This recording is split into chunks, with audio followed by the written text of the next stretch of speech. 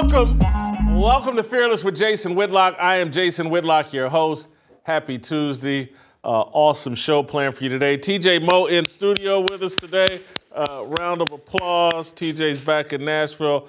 Uh, TJ, I, I don't know if you've got a family member, your mom, dad, brother, sister, somebody that anytime you're not on the show six, seven days in a row, uh, I get an email. What'd you do to TJ Moe? Oh, where's TJ? Where's TJ? I'm like, I've got a burner account. yeah, Yeah. yeah. I, And no I- family members that care. It's me. yeah. They, they, they all think that you're gonna just disappear one day, like Sean Watson. Yeah. I'm Kevin Durant.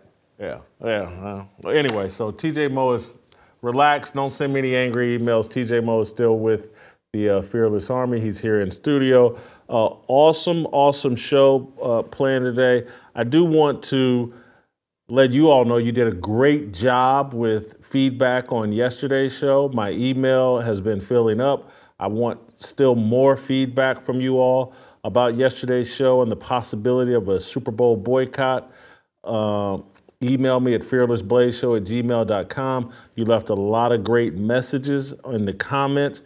We're probably going to circle back to that topic tomorrow on tomorrow's show. So keep the feedback coming. I, I, I really need it and appreciate it. You're doing a great job helping me formulate ideas on how we can execute it. I've reached out to some other people, uh, other uh, conservative Christian content creators to test their interest. I'm getting good, positive feedback from that as well. If you have not watched yesterday's show, I suggest you do. Uh, it's an important idea that I want to try to execute and, and see if we can make a difference in this country. Uh, today, we're going to do a, some slightly different topics. Royce White's going to be here with us. Uh, we're going to talk about Trevor Bauer, uh, the baseball player relate that to Kobe Bryant a little bit. We'll have uh, Steve Kim on the show today as well. We'll talk a little bit about Trevor Bauer and Jimmy Butler and, and what's going on with Stephen A. Smith and Skip Bayless and Dan Le Batard as well. It's it's we're moving Brett Favre up a day. He'll be here, do some fun slinging, talk some football with Brett Favre, and then we'll end the show. I believe. Do you guys know? You know, you guys do know that I asked to end the show with Shemeka Michelle. Does, do people know that? Yeah, it's in there. Yeah, it's in there. I don't see a card here indicating that. But anyway, Shemeka Michelle will be on the show at the end. Uh, I want to open up a little bit of room for this first discussion by taking care of one of my favorite sponsors. Got a new shipment of Nugenix. Uh, this is the unprecedented formula with science backed key ingredients to safely maximize your free and total testosterone levels, help you increase muscle mass, and skyrocket your performance as you age. Nugenix is also the number one doctor recommended testosterone boosting brand. If you're not totally satisfied, Nugenix would refund 100% of your purchase price plus shipping and processing. Now get a complimentary bottle of Nugenix Total T when you text 231231 and enter the code FEARLESS. Text now and get a bottle of Nugenix Thermo X, our newest and most powerful fat incinerator ever, with key ingredients to help you lose fast and get lean fast, absolutely free. That's 231231. Enter the keyword fearless. That's 231231. Enter the keyword fearless. Texting enrolls you in reoccurring automated text messages. Consent not required to purchase. Message and data rates may apply. The number one doctor recommended brand by primary care physicians based on an independent survey conducted by IQVIA 2022. 20 years ago, a young woman accused Kobe Bryant, the best player in basketball, of sexual assault and strangulation. The NBA took no action. As the case worked its way through the court system, Bryant continued to play. Despite initially lying to police about having sex with the woman and eventually acknowledging that he strangled her during rough sex, the NBA granted Bryant a presumption of innocence. The accuser refused to testify in court, ending the criminal proceedings. Bryant issued a public apology and paid the accuser. Two years ago, a young woman accused Trevor Bauer, the best pitcher in baseball, of sexual assault and strangulation.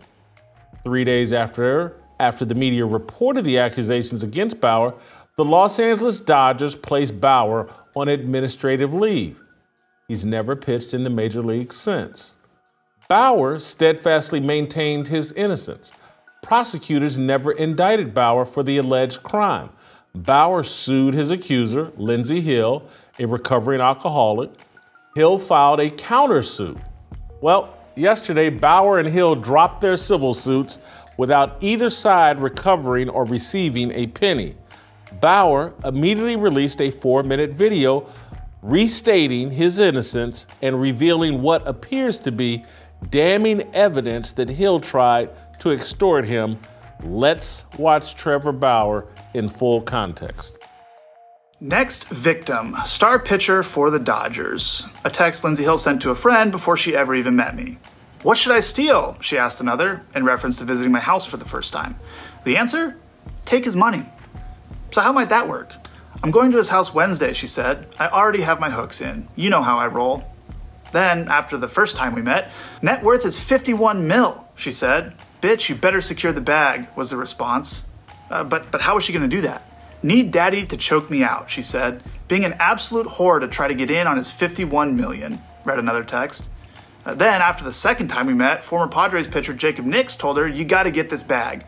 I'll give you 50,000, Lindsey replied. Her AA sponsor asked her at one point, Do you feel a tiny bit guilty? Not really, she replied. Since then, her legal team has approached me multiple times about coming to a financial settlement. But as I have done since day one, I refuse to pay her even a single cent. Uh, in August of 2021, Lindsey Hill's claims were heard in court, and during those legal proceedings, critical information was deliberately and unlawfully concealed from me and my legal team. Uh, information like this video, which was taken by Lindsey Hill herself the morning after she claimed she was brutally attacked, emotionally traumatized, and desperate to get away from me. Uh, and now we have the metadata, so there can be no dispute. Uh, it was taken mere minutes before she left my house on the morning of May 16th, 2021, without my knowledge or consent, of course. Uh, in it, you can see her lying in bed next to me while I'm sleeping, smirking at the camera without a care in the world, or any marks on her face. I think it paints a pretty clear picture of what actually happened the evening of May 15th and why the video was originally concealed from us. Hmm. Yeah. Uh, after hearing the evidence available to her, Judge Dianna Gould-Saltman found that Lindsey Hill had misled the court. She found her claims to be materially misleading. Uh, she denied her request for a domestic violence restraining order, and she found that no sexual assault or non consensual conduct took place. Now, some of you might not know about restraining order hearings. I know I didn't, but uh, I've since learned that uh, it's extremely rare for a request for a restraining order to be denied because the standard of proof that you need to obtain one is extremely low. So you can make of that what you will. The fact is, I was never arrested. I was never charged with a crime, and I won the only legal proceeding that took place without my side of the story even being heard. Uh, and most importantly, as I've said from day one, I never sexually assaulted Lindsey Hill, or anyone else for that matter. Uh, so I sued her, which prompted her to countersue me. Quite frankly, regardless of the outcome in court, I've paid significantly more in legal fees than Lindsey Hill could ever pay me in her entire life. Uh, and I knew that would be the case going in. But the lawsuit was never about the money for me. It was the only way for me to obtain critical information to clear my name. Uh, the discovery process in that lawsuit recently concluded, at which point uh, Lindsey Hill's legal team again came to us with another proposal to resolve the case. Uh, this time, however, they weren't seeking any money from me. Having received uh, much of the information that had been hidden from us, uh, a small portion of which I've referenced here, um, I was willing to agree to the terms proposed. Both parties would drop their respective lawsuits, and neither of us would pay either side any money.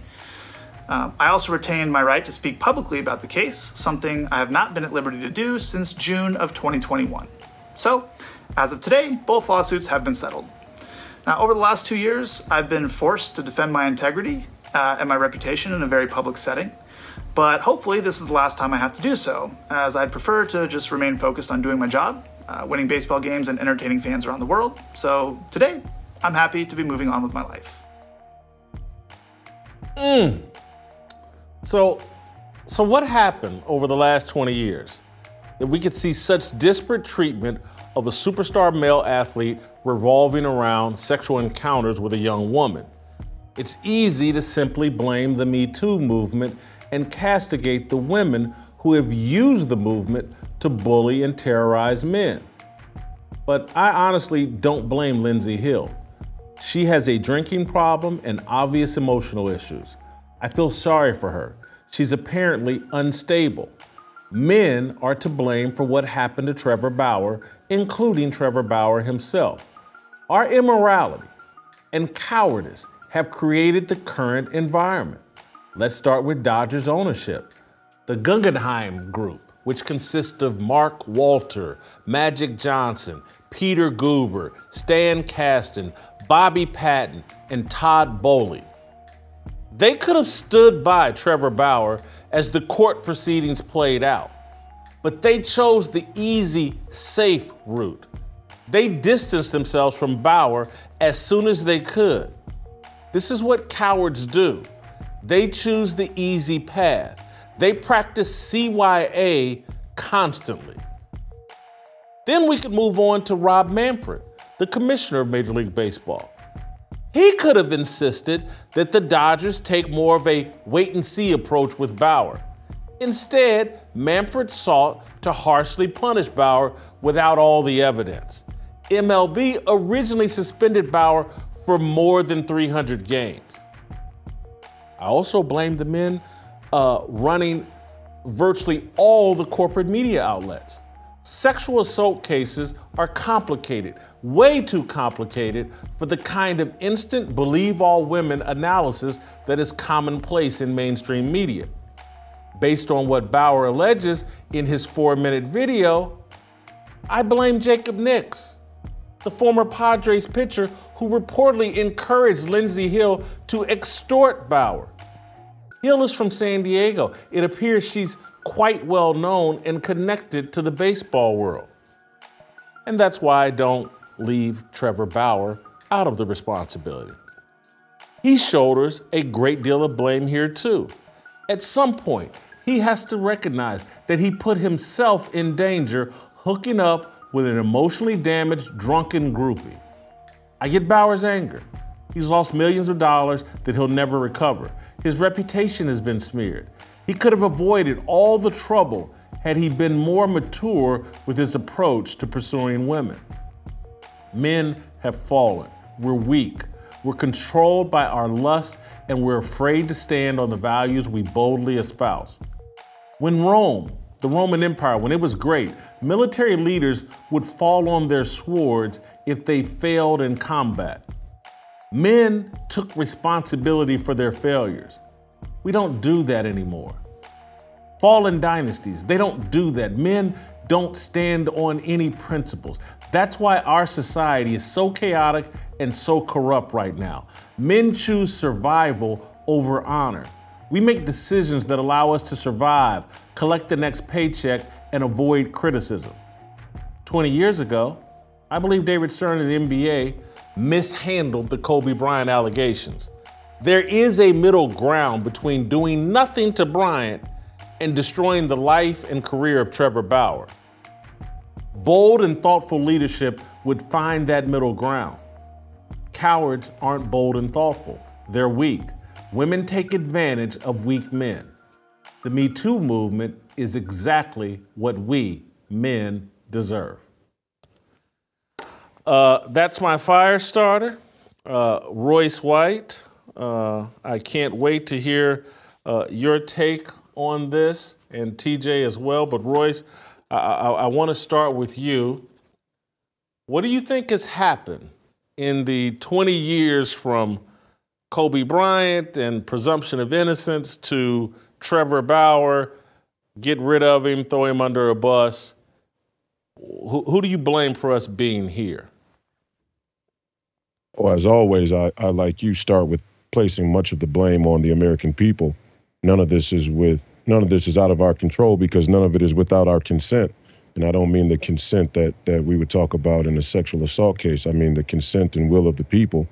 We the people. So ultimately all of it is is within our control. You know, the slow decay of this is is all in our control. What's happening, what's took place is a different matter entirely. We're living under a soft coup if, if communism is the most dangerous threat to Western society and, and Judeo Christian values, the constitutional republic, um, then then feminism and radical feminism and the Me Too movement are a very close second. And and it's not by accident that the two movements are are ideologically aligned or politically aligned. That many of your radical feminists espouse and and and openly uh, claim to be Marxists or, or postmodernists and, and effectively communists. Um, th- this is a way to hogtie strong men arbitrarily whenever a man rises up to to fight back against the corruption of the status quo. They'll do, and it's not really about Trevor Bauer. I mean, the Trevor Bauer case is typical. As an athlete, we we this happens all the time, and I don't agree that that any of the responsibility should fall on on Trevor Bauer in a in a governmental sense or or from a, a legal standpoint.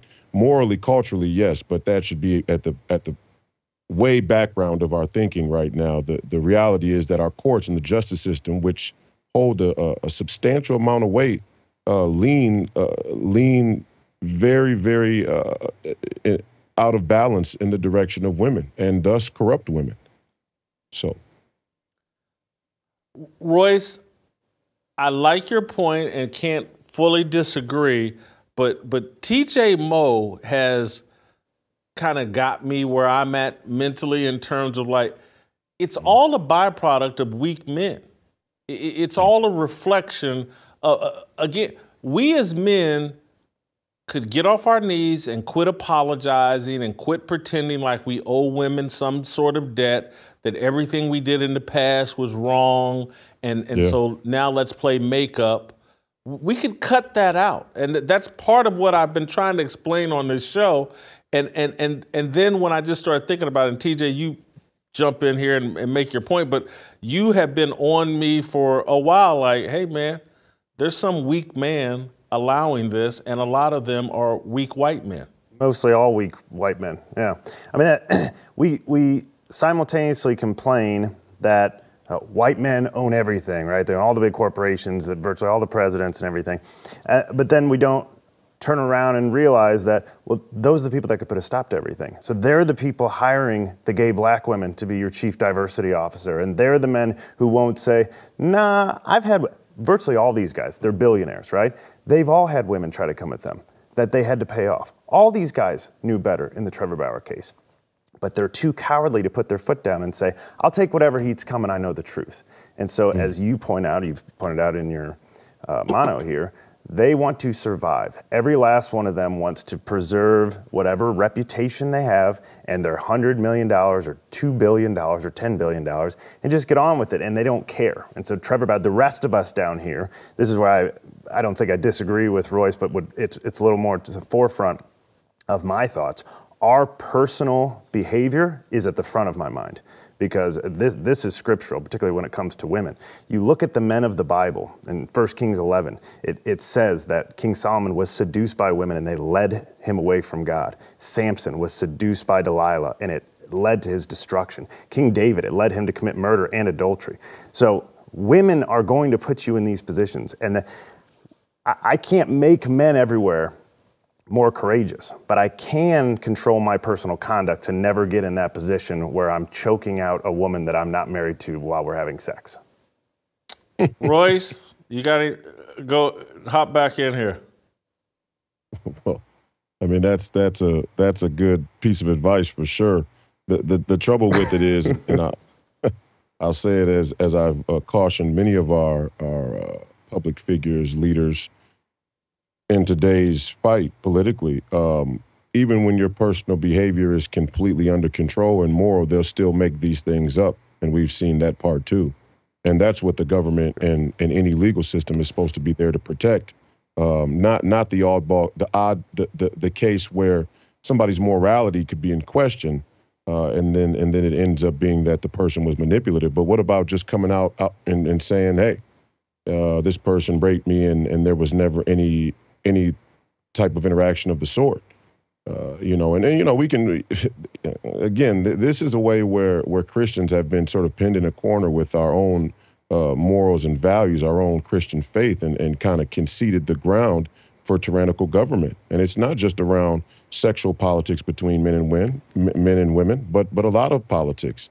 You know, stop talking about the morality of it and and any uh, final analysis of the legal system and its its its effectiveness. It's it's in, it's inappropriate. If we're going to have a separation between church and state every time we want to keep transgender uh, books out of our out of our elementary schools, let's not bring it back into the consideration when a man falls victim to roaming, uh, raging women. I mean, part of it is is a, a lack of courage on our part. We would rather not deal with it. We would rather not pick up arms and fight back against a tyrannical government and say, "Hey, this man Trevor Bauer is is uh, is implicated in his own demise, so let's sit back and, and not do anything about it."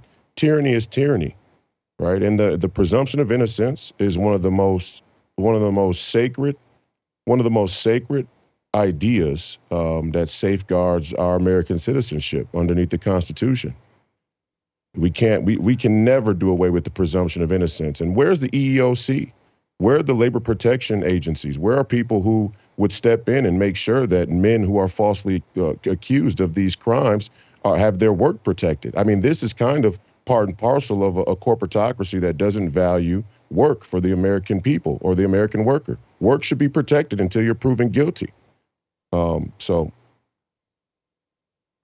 Royce, I, I, get what you're saying, but at some point, for me, things have become so chaotic and so corrupt and, mm-hmm. and so dangerous that as individual men, we're going to have to choose to live righteously if we're going to fix things.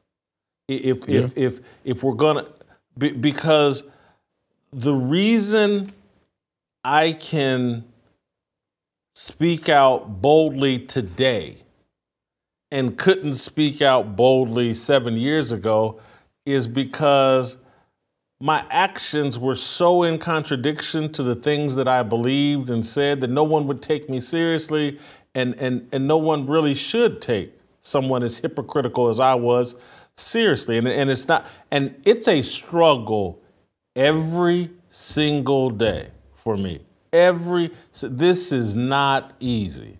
I have to virtually all of my natural instincts I'm sorry to admit them, but they're just not good. I mean, it, it's a fight every day, but but I feel like it's worth it because like I'm, I'm sitting here like I just the way what our immorality has legitimized the immorality of women and and and I can't and I look at their behavior and I'm repulsed by it. Oh.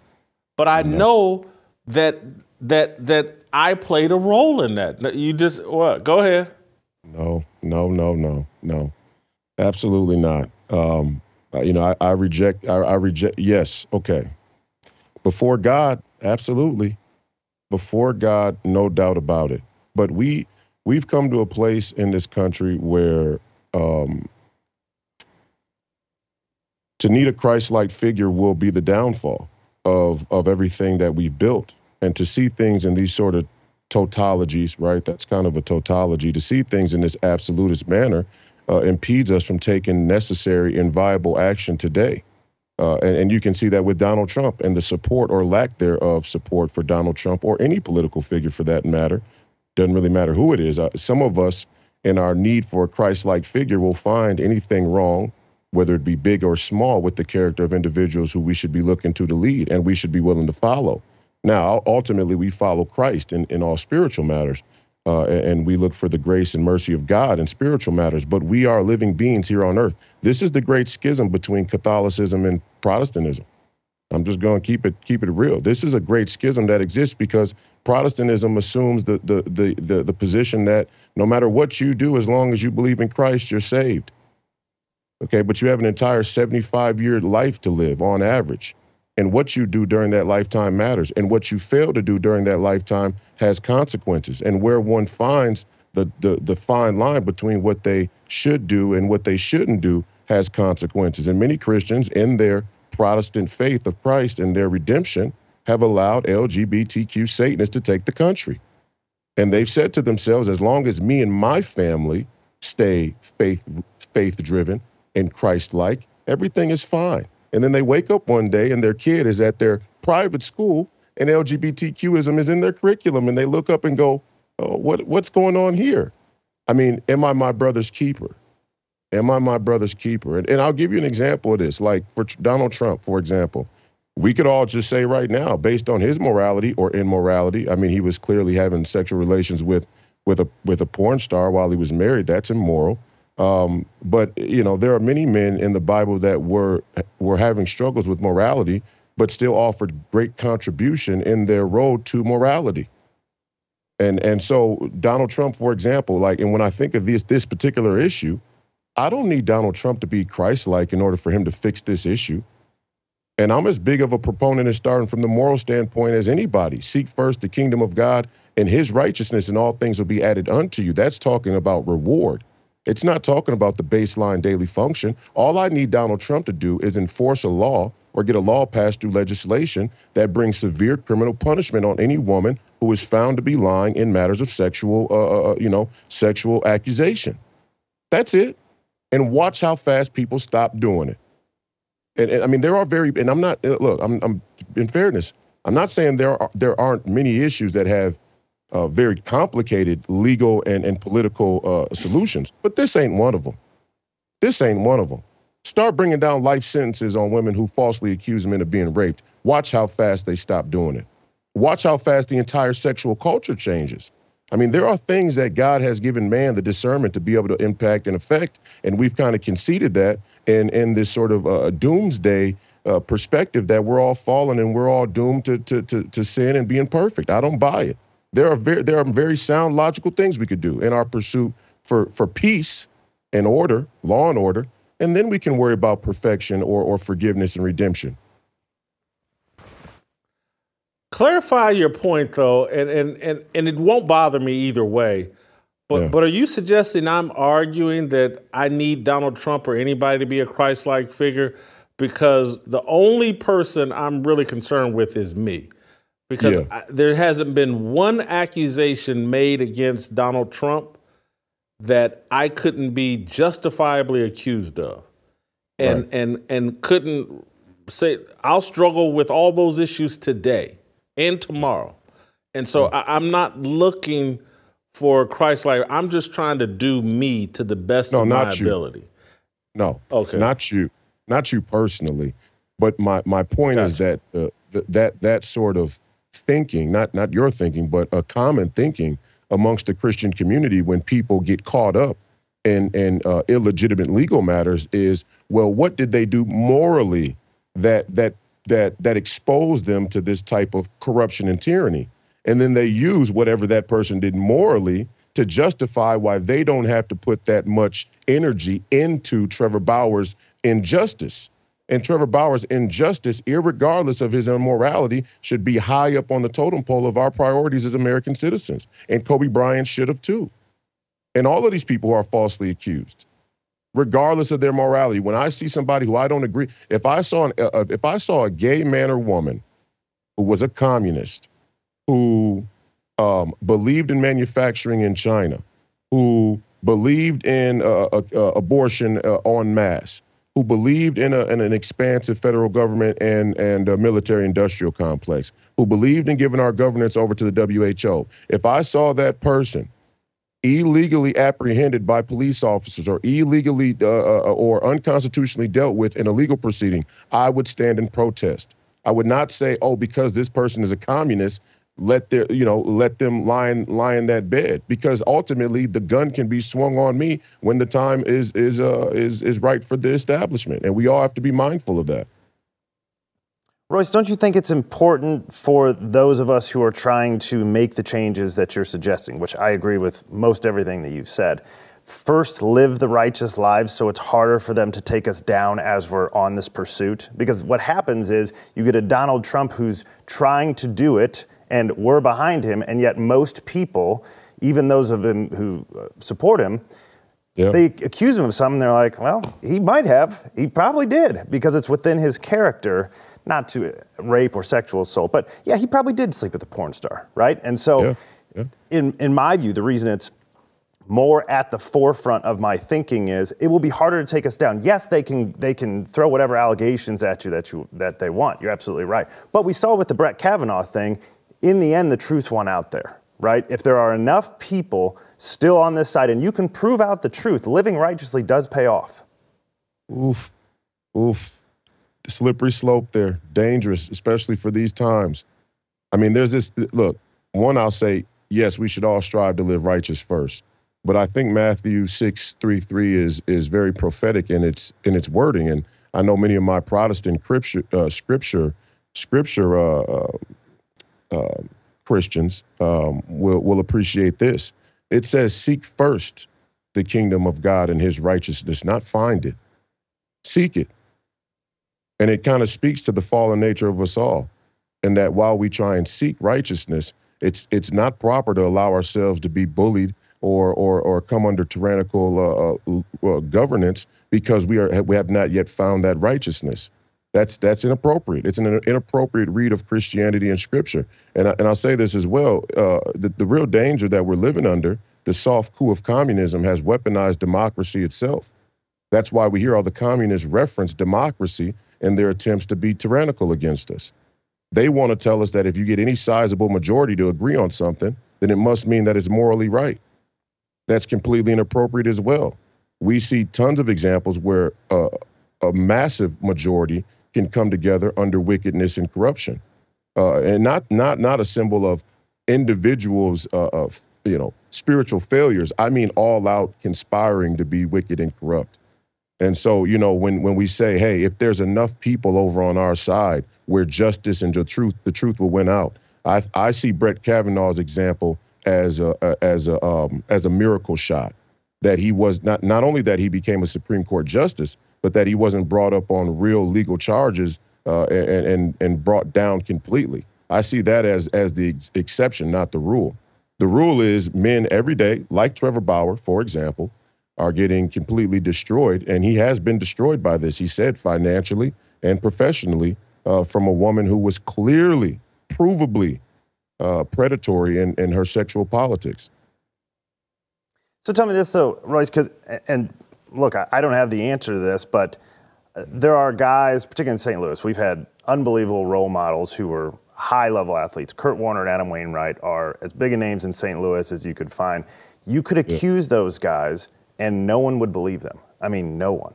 And so the owners would stand by them because I, I, actually believe that. There are, there are very few of those guys, and I think you're correct because I think sexual immorality runs wild amongst men. I mean, that, that is our biggest struggle for everyone. But there are a few guys you're like, he didn't do that. I'll stake my life on that. He didn't do it. And so once you go down that road, I, that to me is what we're going to have to do to begin to conquer this because you have to be bulletproof to start to bring this down. No. No, I love you to death and, and I get it. We should strive for being bulletproof morally. But but there is no bulletproof uh, when you're faced with political opponents who are willing to completely make stuff up. You can't be bulletproof. And I think you have a very exaggerated belief in Kurt Warner's reputation. I'm not from St. Louis, but I know how radical feminists work. And the question is not if you can get people to really believe you. The question is what is the danger? What is the perceived threat of, of standing in the truth uh, uh, economically, politically, uh, professionally, uh, this is the this is the question that that becomes important, and many people are not willing to stand in the truth because of the dangers politically, economically, uh, uh, and, and, otherwise. Socially, with a sm- socially with a very small, with a very small group of people that stand up and speak out. I mean, if you get ten women to say Kurt Warner raped them, it, it's not about what people think uh, Kurt Warner is or isn't, or what they believe. It's about what they risk by standing with him. And I think a lot of people have been so bastardized in their citizenship and their sovereignty in their daily life that they think of that first. You think the people who have kids are going to risk standing with Kurt Warner if it means they're not going to be able to pay their heat bill? I would say no. I would say I, I would venture to say a lot of people will kill actually. And that's the sign of the moral decay of our country, not Trevor Bauer uh, uh, having sex outside of his marriage. The real decay is that too many times uh, good people stand by and do nothing. You know, I'm sitting here thinking about that Kurt Warner analogy you made, and, and just for me, and, and I say this seriously, but while also joking, if someone accuses me of sleeping with a porn star, I don't want anybody to go, I don't believe that about Jason, unless I deny it. If, if I say I didn't do it, I didn't do it. And, and that's kind of where I'm at. I would need Kurt Warner eh, to say, no, I didn't do that. And then I would believe him. But if, if someone, you know, I can't, there are some people's whose word I take that seriously, and I want my word to be taken that seriously, and that's why I confess to everything that I can, uh, and and and so that when I say, "Nah, that, that ain't me. I didn't do that," and you know, oh yeah, in 2003, I definitely did that. Uh, in 2023, I, no, I didn't do that. I want people to, I want to be believable, and and that's where I think me and TJ share some common ground in terms of if you're not willing to live righteously, repent, live transparently, your credibility is at stake and you're less believable and therefore you're less able to actually lead. And so yeah th- this is the, the flaw and the hole we have in leadership and all these guys that have attained all this money and power and they're so compromised that that they're it's it's like and, and I want to move on and ask you about Jimmy Butler, but it, the, the reason I'm willing to uh, stand with Brett Favre and and t- people write me emails and criticize me for oh, you got Brett Favre on the show. How come you ain't had Brett Favre? Blah, blah, blah, blah, blah. And, it's because, like, I feel so transparent, and, and it's like no one's got any dirt on me. So I can stand with Brett Favre and other people, well, you got Warren Sapp on and blah, or whatever. It's like, Carol, I, I think most people will some like I'm a credible, legitimate, somewhat trying to be a high character person, and I'm willing to because of the position I put myself in, I'm just willing to stand by people that others is too dangerous. There's too much to lose. And and you know, I've looked around. I've lost a lot of friends uh, over the years, not because I've done anything wrong, just because you know, my worldview is out of style and it's too hot to be friends with Jason Whitlock. And I'm looking at cowardly men and women just run away from me because, you know, oh my God, it's hot around Whitlock. And I just would never do that. I, I, I'm, if I'm in the fire with you, I'm in the fire with you. And so, anyway, Royce, I did want to ask you. I don't know. I'm rambling there. I, I did want to ask you about. Have you seen Jimmy Butler, Royce? Um, yeah, so did you see his emo appearance at the? Uh, let, let, I think we got a clip actually. Let, us watch. He's got his nails painted. He's got his hair did. Uh, do, do we have a video here? Let's watch the video. Like the whole lip ring is what doing it. I gotta stay in. I gotta stay in character. Shit. We was Media Day, you want to go. It's my Halloween. So uh, that's Jimmy Butler, and, and I want to get out in front of this before I turn it over to you, Royce, because the chats right now and the comments going, Whitlock, you won't rip Dwyane Wade, but you gonna rip, you gonna criticize Jimmy Butler. And again, this is me just being transparent and just like being honest with you. I done told y'all I got a soft spot for Dwyane Wade. And and I'm just so don't expect objective, transparent thoughts from me on Dwyane Wade. I, I, I just I liked his NBA career. I like the way he honors his dad. I feel sorry for him. I think he's controlled by a witch, in my opinion. I apologize for saying that, Dwyane, but that is what I think. And, uh, and so I'm just don't look for me to be ripping Dwyane Wade. You can get it elsewhere. There's no shortage of people ripping Dwyane Wade. You don't need it from me. I like the guy and feel sorry for him. I don't like what we're seeing here from Jimmy Butler. Again, yeah. I looked at it. I was I just just another example of just men. We've just fallen. We, we just we have no honor. Your, your thoughts? I never liked Jimmy Butler. Personally, I never liked him. since the beginning. I think a lot of his uh, bravado and the competitive nature is uh, he wins by default because there's a general lack of competitive nature from his from his peers across the entire NBA, and that's that's not a knock on them so much individually. It's just the culture of basketball is is much different from a competitive standpoint. Much of that has been done by the changes in the rules uh, to to intentionally make it anti-competitive from an anti-competitive NBA hierarchy, but uh, who, by the way, love to see Jimmy Butler dress like this and and, and show up like this. Uh, the soft coup is working. Um, I never liked Jimmy Butler. I think he's soft. I think he's hard and tough around people who don't really uh, like that type of, of, of controversy and conflict. And he gets passed off through social media as, as some type of tough guy. Tough guys don't show up and, and act like that. Tough guys don't do things like that. They just don't. Um, so if anything, I think I think his rep- reputation should be wounded. But hey, if he can come out and score 37 points still, everybody who's a radical materialist uh, will say, hey, you know, no problem. Fair play to him. Let him dress how he wants. Let him do what he wants.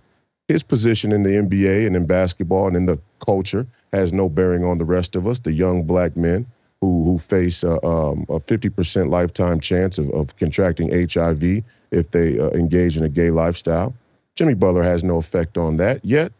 I shouldn't listen to Donald Trump because he invokes hate from all the white supremacists all around the world. You can't make this up. I mean, the illogic, the illogic in it is is uh, astounding. But I never liked Jimmy Butler. He's a sellout. I will say um, that you know, to me, you know, Dwyane Wade, that's his big homie, so it makes sense. Oh God, you were doing a great job, Royce. Why, why'd you got to bring Dwyane Wade into it? Anyway, Snuck it in. That's his, that's his big you- homie. That, that's his big homie. I just want to ask a question. Is it worth Him, average? him, you said him, score 37 Wade. point. Him, D. Wade, Gabrielle worth- Union, they're all in the back, speakeasy, uh, you know, uh, paddling each other. I don't know what they're into.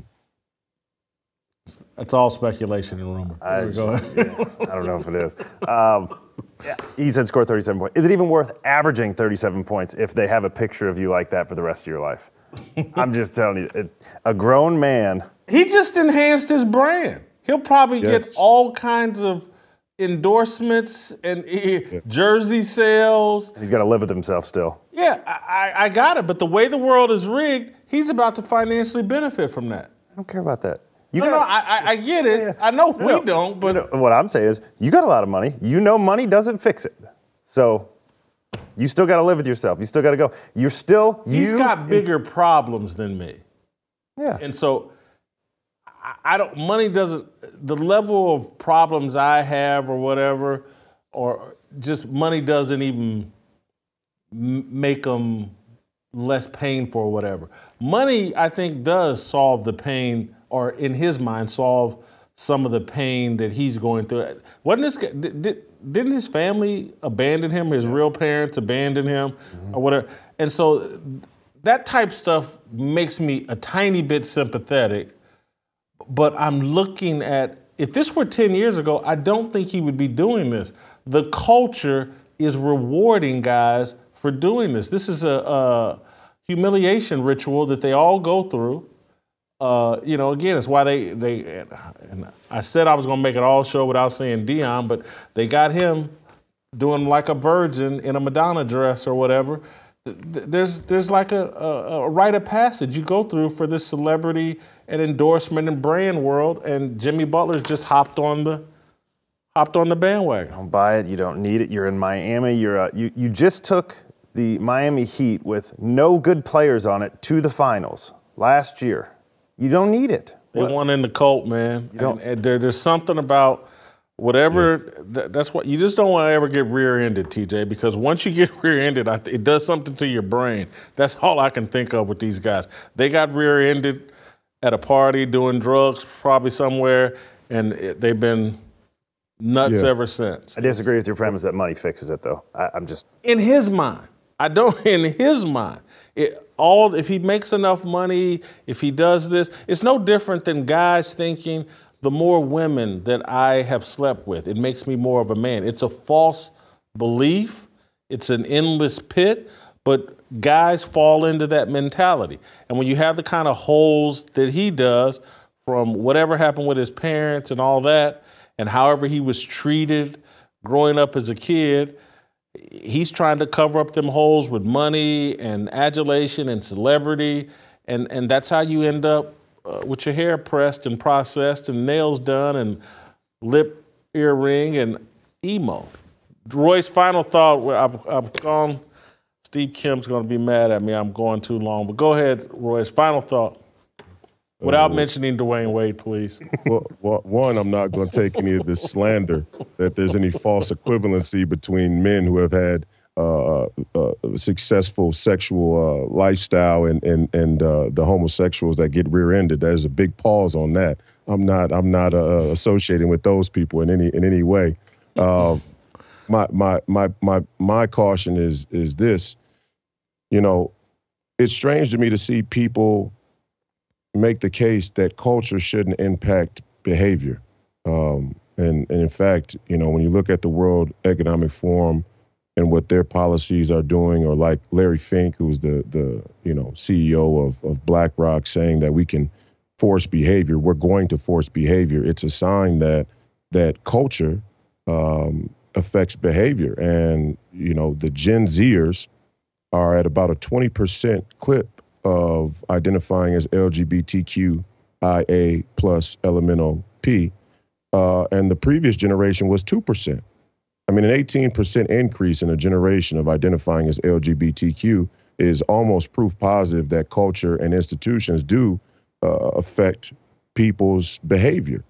And you know, our Christian brothers and sisters better get better get real serious and real clear about their their need to be active in the world uh, because we've taken a back seat. We've become too focused on us. There's a reason why Jesus went into the temple and turned over the tables. It wasn't just because those people were corrupt. It was because they were the spiritual leaders of the of the area. And, and them being in that position and being corrupt allowed them to mislead people spiritually. And there was a more severe degree uh, uh, uh, uh, before the eyes of God in, in that in that respect. Um, and the last thing I'll say about Jimmy Butler is this: if he had come out with a slack one pocket and a button-up shirt and some and some gaiters, I would have maybe thought differently about it because there was a time when when some uh, some pimps from the neighborhood from that that time period wore their hair processed like that. But he said I'm emo, so that that killed it. I'm I'm not uh, I'm not promoting the pimping, but there were some cool dudes in the '70s like Superfly who wore their hair processed. This ain't that look. Uh, Royce, uh, thank you. We'll see you tomorrow. Uh, thank you very much. Uh, guys, I want to talk to you a little bit about Samaritan Ministries. Tired of someone else telling you where to go when you have a medical need? Are you ready to take control of your health care? Samaritan Ministries could be the solution you're looking for. They connect hundreds of thousands of Christians across the nation who come together through prayer, encouragement, and financial support when a medical need arises. It's not insurance, and you're not limited by restrictive networks. Say you have a medical need. You don't have to check and see what hospital is in your network or be concerned about the doctor being in network too. No, you go to the hospital, you choose, and don't give a second thought as to what's in network and what's not because Samaritan Ministries, you're in control of your health care. Afterwards, fellow members pray for you and send money directly to you to help you pay your medical bills. And when they have a medical need, you'll do the same for them. That's what biblical health care sharing looks like. Check it out today at samaritanministries.org slash fearless. That's samaritanministries.org slash fearless. I got a great email last week from a guy who's a part of Samaritan Ministries. Thanked me for referencing him, talked to him, said he's been involved with them for 10 years and it's going great. Check him out. Uh, you can email me and us, fearlessblaze at gmail.com. Uh, the star of the show, uh, Steve Kim, Korean Cosell, next. Obligation, no hate, discrimination, raising up your hands for freedom.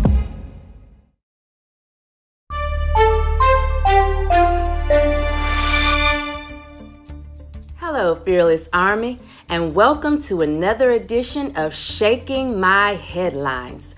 I'm your host, Shemeka Michelle, and this is where we discuss a few hot topics that caused me to shake my head. Mm, mm, mm. Where do I begin? Last week, Jada Belle Pinkett Smith took another trip around the sun. In honor of her, Will Smith posted a beautiful birthday tribute. In honor of herself, Jada Belle posted an old video of her and her husband, Tupac.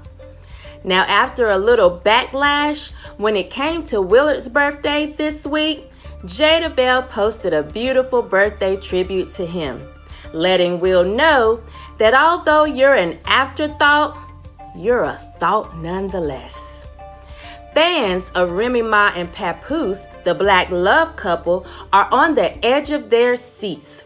They're trying to figure out has Remy dissed her loyal husband for a 25 year old no name?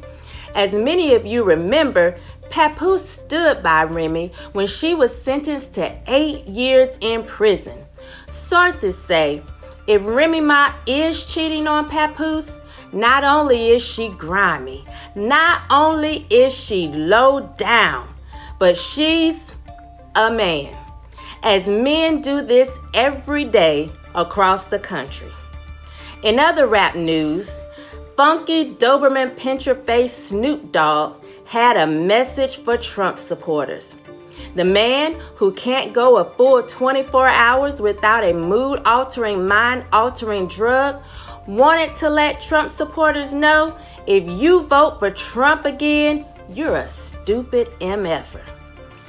Don't vote for that please don't. Look what he do. He just don't give a fuck. Y'all honest, blue collar, hard working people and suffering. So if he don't care about y'all, he really don't give a fuck about us. So fuck him too. And fuck everybody down with Donald Trump. I said a year, Snoop Dogg. Fuck him. Now, sources say the video is actually old, a resurfaced video from 2019. However, Shemeka says that after years of munching on the old, gnarled, crusted corns of Martha Stewart, and after three joke pokes, you know, the noose juice, Snoop is liable to say anything. So I forgive him. In other words, Snoop, we forgive you, little fella. You don't know any better. Now for a bit of world news. The internet was in a frenzy as Brooke Bruk-Jackson was named Miss Universe Zimbabwe 2023. Sources say that her acceptance speech recited this poem Roses are red, this decision's tragic, cause I abracadabraed and hocus pocus and whitewashed your black girl magic. Last but not least, oops, Britney Spears did it again. Unfortunately. What's the it, you ask? She posted another video of herself dancing around in tiny panties, this time with knives.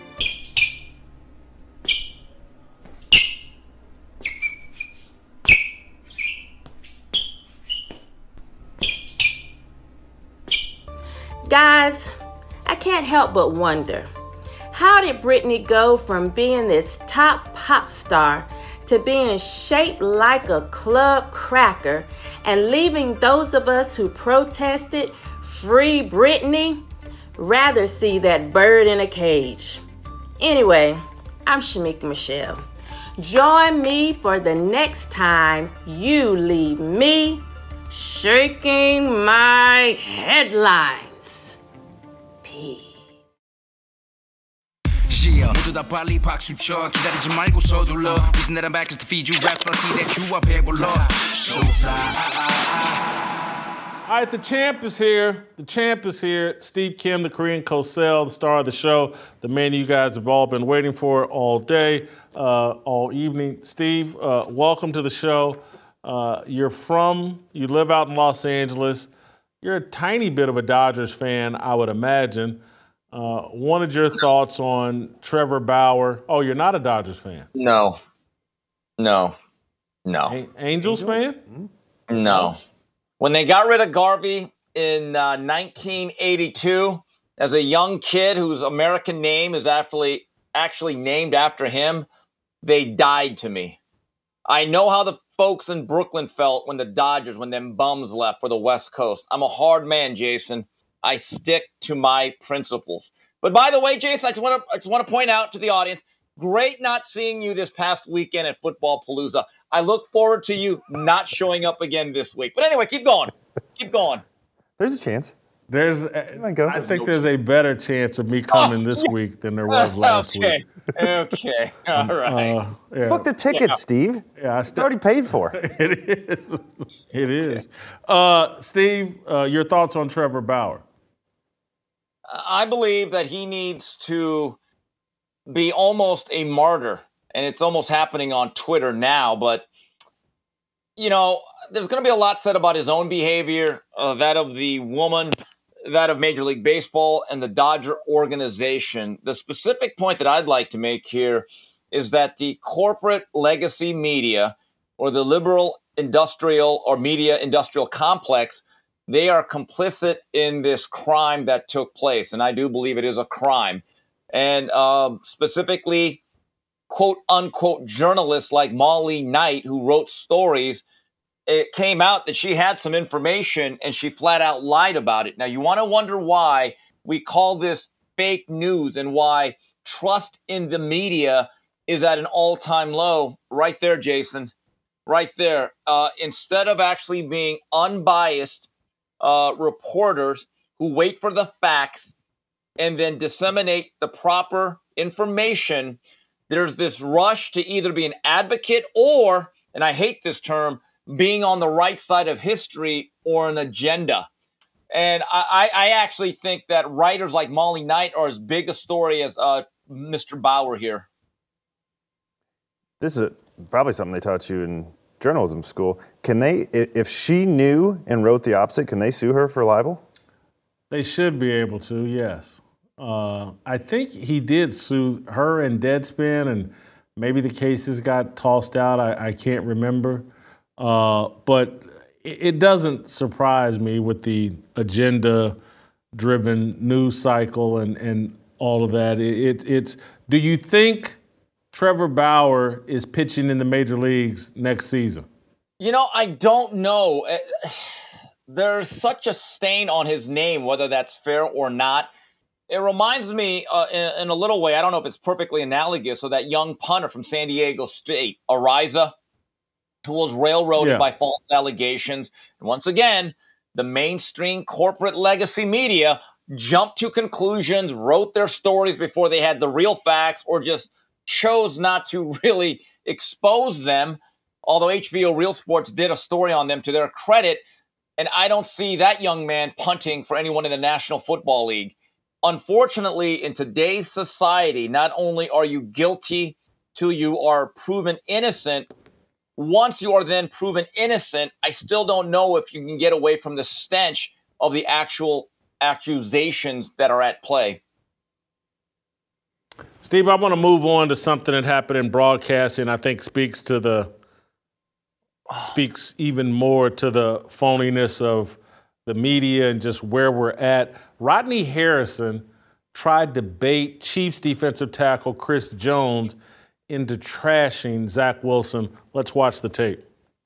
Was Zach better tonight than what you anticipated he would be watching him on tape? And you could be honest. Um, honestly, Yeah. uh, if I'm being completely honest, we knew it was going to be a battle. He's continued to get better week in and week out, and he's continued to lead week in and week out. But watching that tape, man, you got to look at this dude and say, "Oh, he is garbage." Like we should we should really tear him apart. But tonight he came on and played extremely well against you guys. Yeah, he played really well. Zach, he- keep- people tend to forget he's a first round quarterback. Second pick overall, yeah. Number two. Yeah. And that kid is special. You know, um, like I said, Zach Wilson is special, man. You just got to give the guy time. You know what I Wait, mean? wait, wait, wait, wait. Did you say Zach Wilson is special? Yeah. I think he had a special night, but I don't think he's special. He's got to prove that over. You're special because you proved it over a course of time. He's not special. I'm just saying, Chris. Hey, listen. I'm just saying. I'm a Zach Wilson fan. I'm a Zach I'm not Wilson saying fan. I'm not. I like the kid. I, I, I think with time, you can he, he can show you his ability. Hmm. Mm. Your thoughts on Rodney Harrison's behavior? Well, a couple things. It's obviously Chris Jones got paid and he's happy. I mean, just, just just stayed above the fray. But you know what? Rodney Harrison's always been a bit of a cheap shot artist. That has been the reputation, and obviously that hasn't changed. But I will say this: I think he issued some sort of apology. My view is, why don't you stand on your word? If you think he's trash and garbage, just say, you know what? That's my opinion. I'm not changing for it. You don't have to like my wording, but that's what I said. Stand on it. I can respect that. Secondly, it has to be asked. Let's say that NBC put through the put us through, and I'm talking about America, the unfortunate happenstance. Let's say the Bears were on national TV and we were stuck with that game. Oh God, that's punishment, right? And Justin Fields had one of his bad games, even though he was pretty good this week. Let's say he had one of those Justin Field games 14 for 32, 138 yards, an interception or two, no t- And the other team that won, let's say their version of Chris Jones, I, I just, again, I'm going to go there. I'm going to ask it. Would he say, man, Justin Fields is horrendous. That boy is garbage. Are you surprised he played as bad as he did? Would he, you, I mean, honestly, do you think he would do that if it was a Justin Fields? No. I don't. Okay, that's just saying. No. Yeah. No. And that that is where and, and Rodney Harrison's getting piled on by everybody, NFL players, media, everybody's piling on him. But no one wants to point the finger of blame. at Like, who created the environment where he thought that that was appropriate? And to me, this is what ESPN and Fox Sports and all the nonstop debate shows, they created this environment, and Rodney Harrison just fell into the bait. It's like, oh, we got a white quarterback. We can say whatever we want. We can trash him. It's even a good look if we trash him and go over the top. And, and we know that as it relates to black quarterbacks and black athletes, we have to deal with them with kid gloves and, and travel very, you know, carefully. It, it, it's, I'm going to make a prediction. I don't think Rodney Harrison's going to recover from this, and this will be his last year on Sunday Oh. Night Football. Uh, I don't know. I just that's a tough one. But I'm going to reiterate my point. I would actually have a lot more respect for old Rodney if he just said, "I said what I said. Here's my flag. I'm planting it. I'm not changing." Uh, honestly. Well, he's Um, also Go ahead, TJ. Go ahead. he's not yeah he's not Charles Barkley, meaning he Charles would do this to whoever and just say that is what it is. Look, he sucks. I don't know what to tell you. He's terrible, Shaq. What do you think, right? Rodney, but it, it goes somewhat to your point of the soft bigotry of low expectations, right? Well, the black kids couldn't handle it, so we'll never criticize him like that. Zach Wilson, he's bad. We'll just tell the truth. And if he's any good, he'll get up and handle it like a man. That is accurate. It, it, it, it's, it's unfortunate that we that, that they've allowed this environment to be created be- because where they're, everybody's going to go with this is as an athlete, never criticize another athlete. That's going to be the takeaway. That that's kind of the messaging. How dare you as an athlete criticize another athlete? And so what we're going to is just like everybody's going to be on air just worshiping athletes and no one and again because the, the whole garbage thing or whatever that's so beneath a former professional athlete. Oh Because you're expecting a level of expertise and commentary from them that should be at a higher level than just what you would get off of Twitter. That's a Twitter comment. It's locker room talk too, though. That is exactly what you'd say to your other safeties. But this guy's garbage. We should each have three picks this week. Yeah. Can we That's be true. honest? And TJ, you mentioned it on Twitter on your timeline on Sunday as Wilson in that second half started dotting guys up, throwing lasers. I, I think all of America's like, oh, what, what, what, what, what's going on here? I, I, my eyes turned around. I was like, whoa, Zach Wilson? Really? I mean, it was it was surprising because we all had the same thought. Who is this guy? Who got into his uniform? Where did you put the real Zach Wilson? And you're talking about athletes being honest with one another, guys. I saw a non-fight on pay-per-view on Saturday night between Canelo Alvarez and Jermell Charlo, who put on one of the worst non-efforts I've ever seen. And it's one thing for guys like me or fans to catcall and and and disparage Charlo. But a lot of fighters, pro fighters, namely Terrence Crawford, flat out said, You were garbage tonight. You were so bad. I don't even have you on my hit list anymore. You embarrassed yourself. and he was not the only one. So, again, Jason, do we want that blunt honesty or not? But I think the bigger question is are we going to have that for everybody? Is it the same standard that, that will apply to every single player or performer? No, it will not apply to every single player and performer. Th- this was interesting. I found more interesting in the media space, uh, Steve. Uh, and this happened, I think, a week or so ago. Dan Le Batard uh, made a comment that I completely agree with that Stephen A. Smith and Shannon Sharpe are trying to end Skip Bayless's career. Let's play that clip. About the war at the top of this industry between Skip Bayless and his protege. Because if you think Woj and Shams have a rivalry, Stephen A. Smith wants to end Skip Bayless's career, took his guy, and I told you when this happened. Shannon Sharpe is more valuable to Skip at this point than Skip is to Shannon. Now, Shannon's an individual entity. Club Shay Shay teams up with Colin Cowherd because he realizes wait a minute, my brand is strong enough. I don't need the networks. I can make my own business. This is what Stephen A. Smith is doing with his production company and with power. He gets Shannon Sharpe now, and every time on first take, and this is so good. What is under Shannon Sharpe every time he's talking is three time Super Bowl champion, five time Pro Bowler, greatest tight end ever, just credentials, respect. Why did he leave Skip? Why did Shannon Sharpe leave Skip Bayless in a successful partnership? Because respect was lost on the day that Skip Bayless said to Shannon Sharpe's face, Your career pales as an insult, pales com- compared to Tom Brady's. Hmm.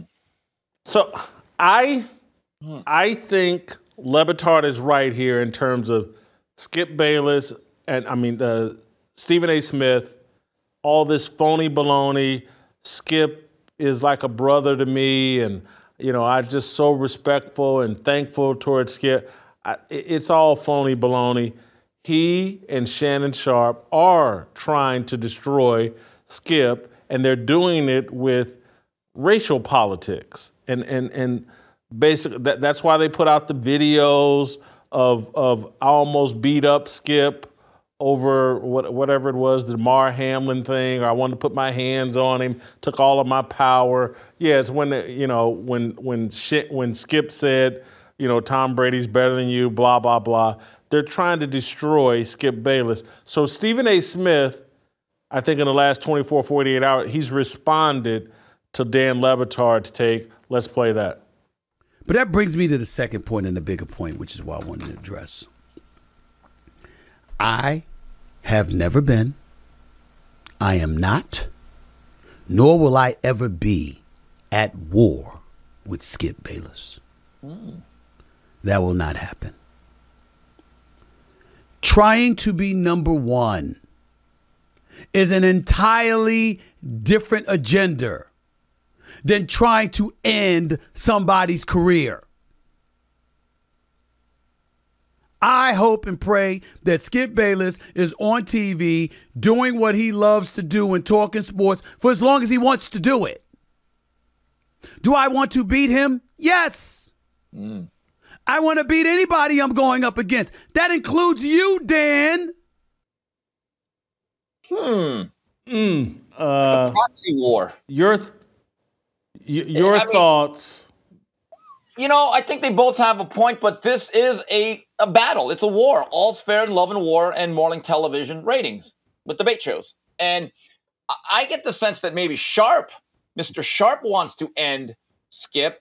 Stephen A, I don't think his feelings are as harsh. He just wants to be number one. But if I was going to make this into an analogy, I kind of do this once in a while. This is kind of like an artist who was at Bad Boy Records or was very friendly with the East Coast, but then went over to Death Row Records. You know, maybe like uh, Tupac. By the way, I guess they finally found the shooter. It took long enough. I don't know if that really affects any of us. So maybe this is kind of like Bad Boy and Death Row, right? and I don't know who would be Tupac. I don't know. I hope nobody gets shot, by the way. And so now this becomes a rivalry. I actually think both guys are correct, but in my view, Stephen A. Smith, he just wants to be number one. I look when you are a competitor, Coke and Pepsi, McDonald's or Burger King, there's always going to be a natural rivalry. And by the way, given the ages of everyone involved, Skip Bayless is much closer to the end of his career than the beginning or even the prime. That's the reality.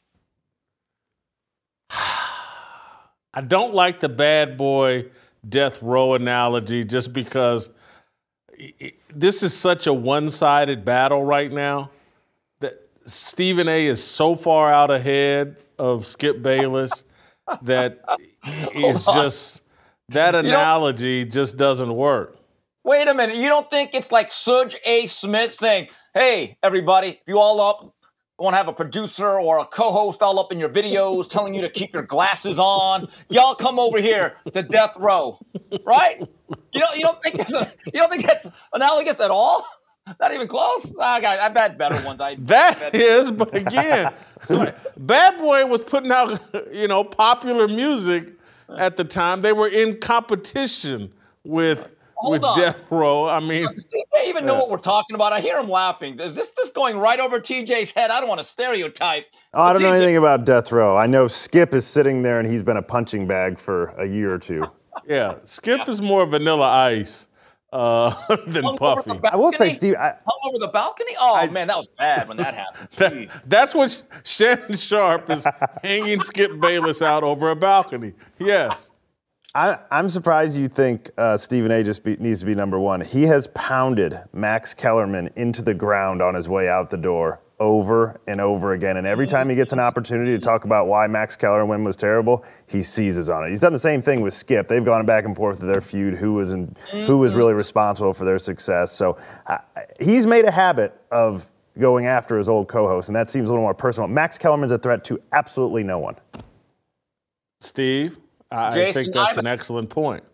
I have a theory about the whole Max Kellerman Stephen A breakup and why Stephen A Smith jettisoned him and is now piling on him. And I think people have completely missed it. They've never brought it up. Uh, but that's why the old Kimsters brought out of the bullpen like Dennis Eckersley. The reason why I think that they had friction and, and that Stephen A. Smith wanted no part of this guy had nothing to do with his qualifications or anything else, or even really the way he was personally. I don't think they had an issue. I believe Stephen A. Smith got sick of the liberal, white guilt, pro black pandering of Max Kellerman. Because if you really think about it, Stephen A. Smith is much more conservative leaning than anyone ever thought. And I'm sure you've had a lot of white friends, Jason, that always tell you things that you think you want to hear. Like, oh my God, this white supremacy must really hurt you, Jason. And you're kind of thinking, uh, it's been okay to me, this country. And then finally, one of the breaking points is when Terrell Owens, you know, the old Yes. brother man says, Hey, Max, man, you know, you got more street cred. And Stephen A's just thinking, hold up, hold up. Cause I cause I know guys like this. They're like, uh, Max, you live in a white gated community like I do. Okay, except I'm actually black. I don't have to go around and pander and and do all this other stuff. And I think he got sick of that whole thing being shoved in his face because I think Stephen A. Smith in his own mind is saying, "Bro, get off it, get off it." Because I I remember distinctly when Max was doing his radio show with your old co-host Marcellus Wiley. That show almost to me was unlistenable because the few times that I'd be on the dial on the freeway, uh, Max would always overtalk Marcellus. He would just dominate the conversation. And then in the middle of football season, he wouldn't let Marcellus talk football. And meanwhile, he's focusing in on Mike Trout's uh, on base percentage. And I'm thinking to myself, hey, Max, nobody wants to talk baseball in the middle of October. Let Marcellus break down the 4 3, please. And I would just go click onto my Debbie Deb DVD or CD, Lisa Lisa. I could not take it anymore. And I'm just telling you, it was Max's whole thing about wanting to have the perma invite to the cookout and to be down that I think after a while just really got on Stephen A. Smith's last nerve. Agree or disagree, but that's my theory. You know he's right. That was the greatest moment of Max Kellerman's life when T.O. told him he was black. He's, he's never been happier. You should have seen the look on his face. So obviously, I know all parties involved. uh, obviously, I, I was friendly with Max Kellerman, and and so I- I'll, I'll say this: I think you're 99% right. I'll, I'll put a slightly, a tiny different twist on it. I, I'm not going to say the name of the executive, but 15 years ago, and again, I was friendly with Max, and because Max was friendly with everybody in the media, but particularly the black guys. And you know, Max, uh, as a kid, was a rapper, and and you know, a pretty decent rapper. Uh, he and his brother. And, and you know Max's brother got murdered by I think by a boxer or whatever. James Max has a very interesting yeah has a very interesting story and you know I've been to Max's house, met his wife and kids. Me and Max were friendly, and and there was conversations between me and Max, just general, not anything specific about doing something together. An executive at ESPN, who I will not name, told me, "No, don't don't you ever do a show with Max Kellerman. He's going to he's going to spend the entire show trying to prove to the audience that he's blacker than you, and it's going to annoy you." and uh, that's where I think you're right, and I think that where, where Stephen A. with that Terrell Owens situation is, if if he and Max are truly partners, Stephen A. really doesn't have to say anything in that situation. Max Kellerman jumps in and says, "What? What did you just say, Terrell?" No, cut it out, man. You know, blacker than me. You know, blah blah blah blah. He he corrects Terrell Owens in that level of stupidity on the spot. Instead, Stephen A. had to do it and was left kind of out on an island. And I'm sure that violated the partnership between those two.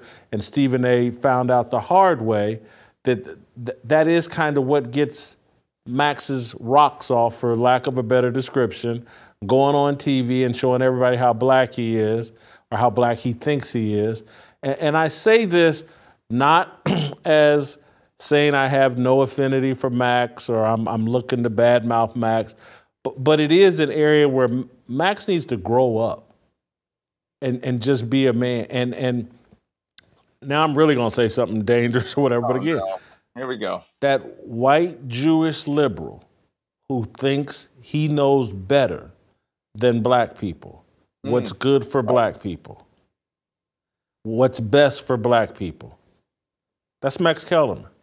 Mm. And, and I say that without, I'm not trying to be harsh. I would say it to Max's face. I, I, I believe it. That's where he needs some growth. Come up out of this childish or superior thinking of of like no I I, know what's how black people should really think that whole air that's what's at the root of Stephen A Smith's problem with Max Kellerman you know Stephen A in my view should man up and say that rather than take subtle shots that are difficult for people to read through the lines but yeah that would be very annoying uh, for for TO, and then basically to have your white partner halfway co-sign what TO is saying. So I, I- I do want to get back to one thing though, as it relates to Skip Bayless, uh, Steve.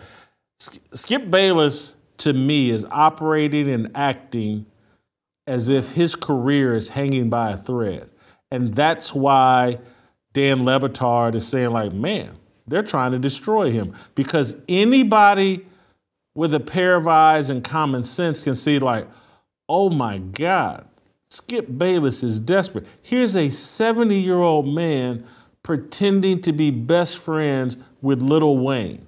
70 year old white man. T- But you just take color out of There shouldn't be any legitimate 70 year old man of any accomplishment that should be like, oh, I'm best friends with a 38 year old rapper whose whole face is tatted up.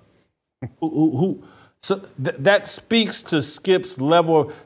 I think they got some kind of gold chain looking deal that's like the undisputed brand now. And they Lil Wayne came up with a new rap song. Skip every Friday Where's a gold chain. Skip is out here just dead. Oh, black people, please love me. Shannon Sharpe has made y'all hate me. Stephen A. Smith is making y'all hate me. Black people, please love me. To the point that they took that whole undisputed crew to Boulder, Colorado last week to have Deion Sanders lay hands on Skip Bayless. And, and it's like, Lil Wayne ain't enough. I got to have Deion co-sign that I'm good. I got, I got to pass to the cookout. Let's play this clip. Skip, hold on for one second. right. Thank you, man. Thanks. because you get heat oftentimes. I do. But you've given a lot of us opportunities that people look past and they don't you. understand, they don't recognize. And none of us are perfect. But you have given us, y'all know darn well what I'm talking about, so many opportunities, man. And I appreciate you for that, boss. Straight up, Skip. Thank you You're for a good saying man, that. man. Thank you. Thank you. I love you for that. Thank you. Thank you. All right. Hmm. So, what I would like to ask Deion is define a lot. And and you know this I, I don't know if again Skip's not taking undiscovered kids out of the ghetto, uh, kids that barely grad. You know, I, I the whole thing is, and, and again, I don't want to beat up Skip because I don't think Skip's a bad guy. I think, again, I, I think that he's trying to survive, and this whole morning debate show industry is built around. I'm sorry for saying this, but it's factual. It's built around, in their minds, appealing to unemployed black men who are at home at that time that have nothing to do. And so, hey, Lil Wayne's my BFF. We play rap music here. I interview rappers. I bring on black athletes to talk. This is the show. He, he's Skip is playing some racial game that I guess he feels he has to play in order to get ratings. It's embarrassing. It- it- it's to be this kind of desperate and to have have to have Deion and Deion's going to come on and co-sign Skip. Skip's going to use his show to cover up and and and cheerlead for Deion. This is a, pri- a quid pro quo going on that's embarrassing, I think, for both parties. Your thoughts, Steve? Well, like I said earlier, Skip feels the heat. He has seen the social media blowback over how the situation with Shannon Sharpe played out. It was kind of messy. He came out on the short end of the stick. He is now fighting for survival in what is the very late fourth quarter of his career. And look, he's addicted to being on camera. He loves his work. I, I don't think he wants to retire gracefully. Retirement has killed more people than work. That's the sense that I get with Skip Bayless. I think it's actually admirable. So, yes, he is fighting to survive and fighting for his relevancy. But is there a level of pandering? Of course there is. I mean, Jason, I halfway expect next week he's going to come out in a FUBU jacket and a kufi, I, I, or a lapel or a Nietzsche, Bat Farm. I don't know. I, I, I, I've kind of like forgotten all that. But anyway, he'll wear one of that stuff with like I don't know, maybe go back to baggy jeans and Timberlands. Now that would be something. If now, now if Skip came out to Timberlands and baggy jeans and a beanie cap. You know what? I'd be like, you know, Skip, you're taking this all the way to the limit. We're good. But yes, there is a level of pandering, Jason. Yes. He may drop his wife and, and marry Pam Grier or Okay. I, I can define a lot for you. You said how many opportunities a lot? More than Deion's given. Both his coordinators are white. Ooh, oh, geez. That is the truth. Oh, and that little blessing from Deion came at a price because on Friday, Skip came out and said he'd take Shedeur number one over Caleb Williams. Quid pro quo indeed. you know, you know what's funny about that take? I'm not. I left that game not sure if I'm on Caleb, if I'm on Team Caleb Williams. Oh, me too. Uh, he can't throw the deep ball, but I'm yeah. telling you, I wouldn't take Shedeur over him today. Dude's Not coming to- off a Heisman.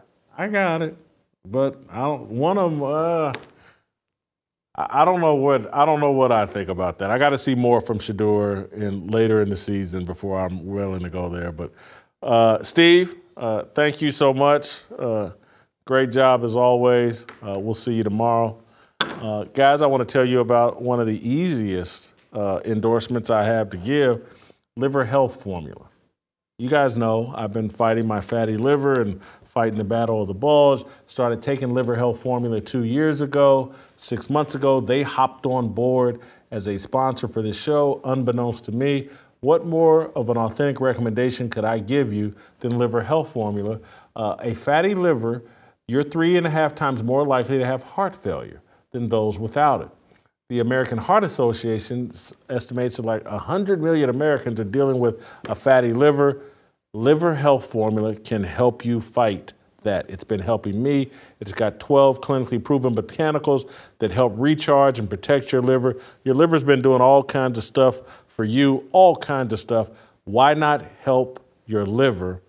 So I need to get you guys to try Liver Health Formula. Here's how you do it.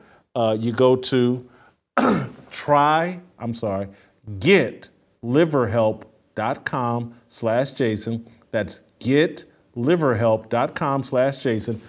Use my promo code or use that uh, getliverhelp.com slash Jason. You get your free bottle of, of a blood sugar deal that will help you control your blood sugar. Getliverhelp.com slash Jason. Brett Favre, the Fun Slinger, next.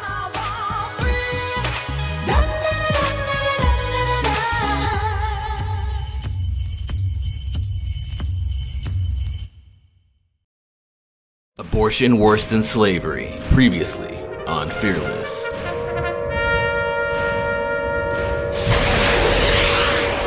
I hope one day I make it to heaven and I'm able to ask God. And maybe there is no degree, maybe no, neither is worse than the other, but from my perspective, abortion is worse than slavery. And I say that because we have this mentality. Well, that's- that's an easy one. The founding, yeah, the founding fathers were the worst people in the world, and and oh my God, they had slavery. And I'm like, well, hold on, man. We got abortion basically on demand. And we got people out in the streets having convulsions. I can't kill my baby whenever I want to. And I'm like, man, I can't wait to, for God to, to make a ruling on this. They're like, no, I think this abortion thing's worse than slavery. A- am I wrong for thinking that? Um, you, you know, my ancestors were slaves, um, but I'm here. If my mother had had an abortion, I wouldn't be. Um, so yeah, you get no argument from me on that one.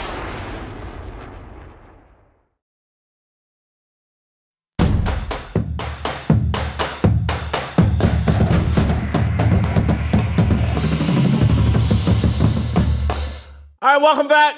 Time for some fun slinging with Brett Favre. Talk a little NFL football with one of the greatest quarterbacks in NFL history.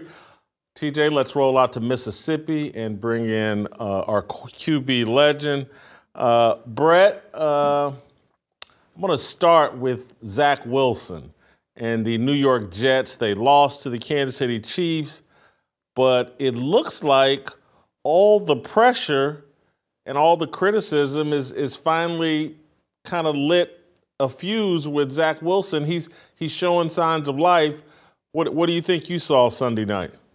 I saw the same thing. I saw a team that very well could have beat the Chiefs and came close. Um, Zach Wilson has, has gotten his share of criticism without question, uh, rightfully so.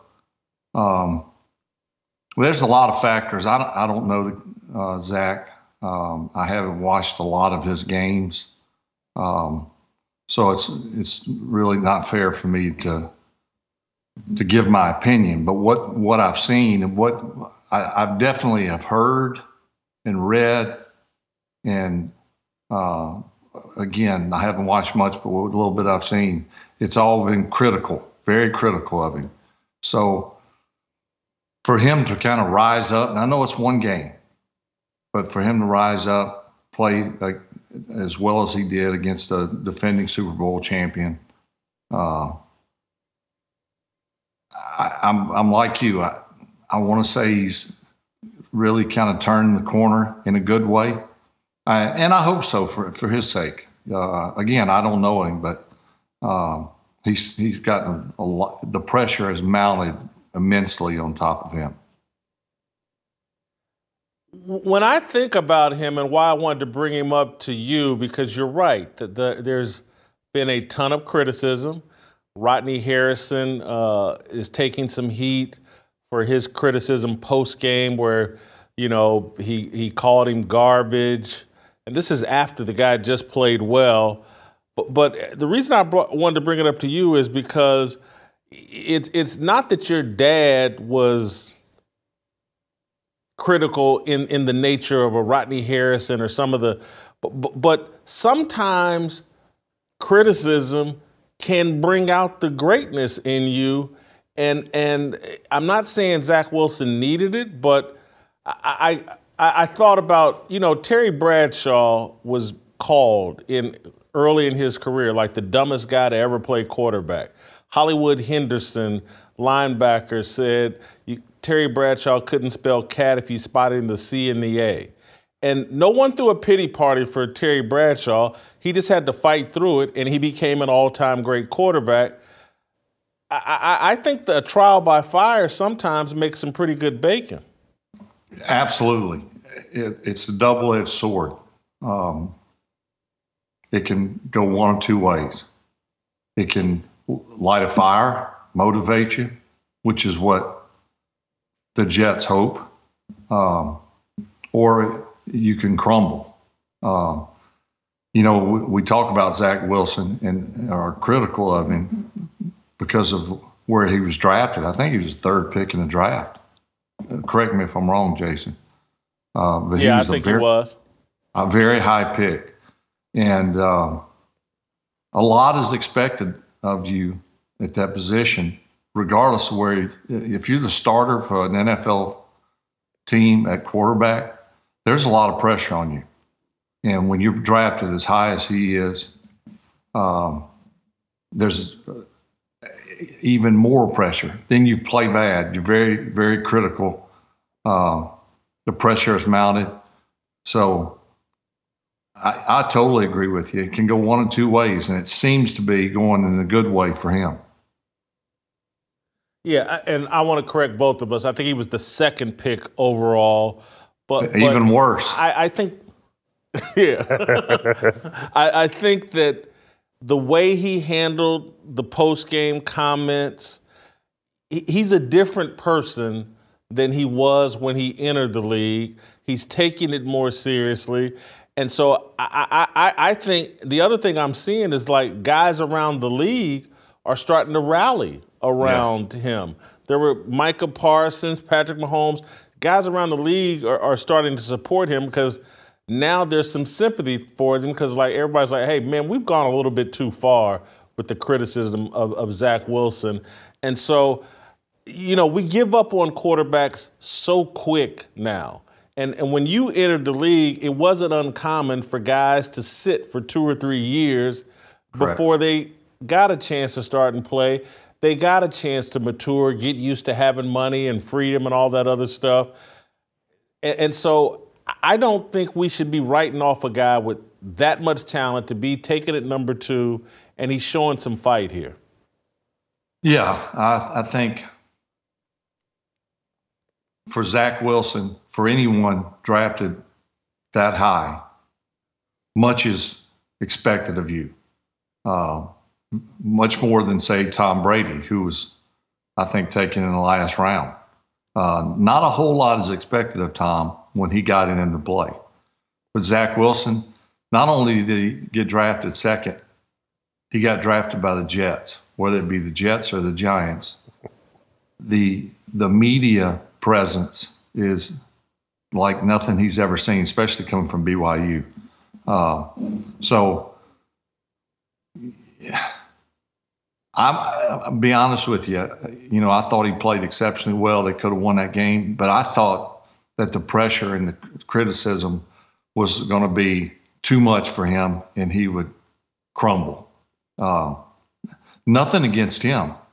I just felt like that it was too much. But you know, so far he's he's proved me wrong, and and that's uh, good for him. A lot of guys, Brett, want to play in a New York or a Los Angeles or a Chicago. They want to play in a major media market. What for your personality was Green Bay and kind of the isolation of Wisconsin, was that the right fit for you and your personality? You think early in your career, had you been playing in a major city, things may not have gone as well for you in the NFL? Uh, very easily could have gone the other way. Uh, Green Bay was a perfect fit for me. First of all, my all I thought about as a kid, up until the time I was drafted, was playing pro football. What better place to play, just from a football perspective? What better place to play than Green Bay? Tons of history, tradition, wonderful, great uh, Hall of Fame players. Um, the town is much like what I grew up in, small town, very easy traffic wise. I mean, logistically speaking, I, it took me three minutes to get from home to the facility. You know, the, just the ease of it all. I, I enjoyed hunting. I played golf. I got to do both. Um, so, uh, and, and, the rapport with the fans was uh, was mutual. Um, I played, I think, like they lived, hardworking, blue collar, um, and so it was a perfect fit for me. Brett, do you think we give up on these guys too quick? One guy that we're seeing right now make a resurgence is Geno Smith. Geno looks really good in Seattle.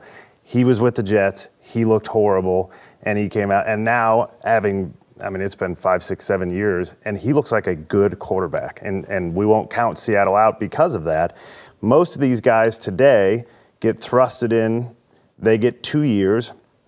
Their coach then sees that his job's on the line, so then they just discard a guy. I mean, there was a drive in the second quarter where I thought Zach Wilson made a collection of throws that not very many guys in the NFL can make. Five, six, seven guys, back shoulder throws, darts. I mean, he his touchdown drive in the second quarter. I thought was as good as it gets. But we've casted this guy out, and everybody says bring Rodgers in.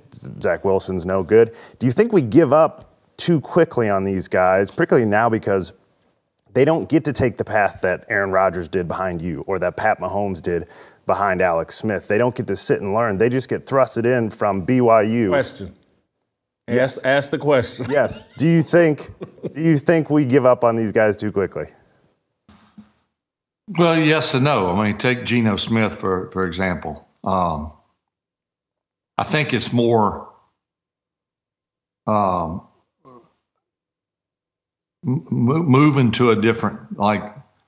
I, what I see is one team gives up on a guy, another team finds some like a um, a diamond in the rough, like Seattle found with Geno Smith. Uh, will that happen with Zach Wilson? Will he stay with the Jets? You you got to assume that if if he stays, he's going to be a backup eventually when Aaron comes back. If he goes somewhere else, maybe he resurfaces as a uh, you know a quality, maybe even a great player, uh, equal to where his draft status um, was. So I you know sometimes I just think it's not the right fit, and which leads me to I scratch my head sometimes where where and what teams are thinking when they draft certain players at certain at, you know third pick in the draft, trading up, giving up you know the farm to trade up, and um, it, it's it's such a gamble. So uh, I think it's more a re- reinvigorated, you know, uh, sometimes it could be with the same team, but in most cases it's you you go on to a different place and it's a good fit and it works for you. That that's where I think you're suggesting Geno Smith found the right fit and the right Absolutely. environment, the right coach. More so, if he had landed someplace else, it may not have happened for him. Absolutely. But Pete Carroll, with all that experience, it, it's the right fit. Uh, speaking of right and wrong fits, Deshaun Watson goes to the Cleveland Browns, where a lot of quarterbacks have gone to die, and and now. Uh, some of his teammates, uh, Jadeveon Clowney, was rather surprised uh, that Deshaun didn't play this week despite a hurt shoulder.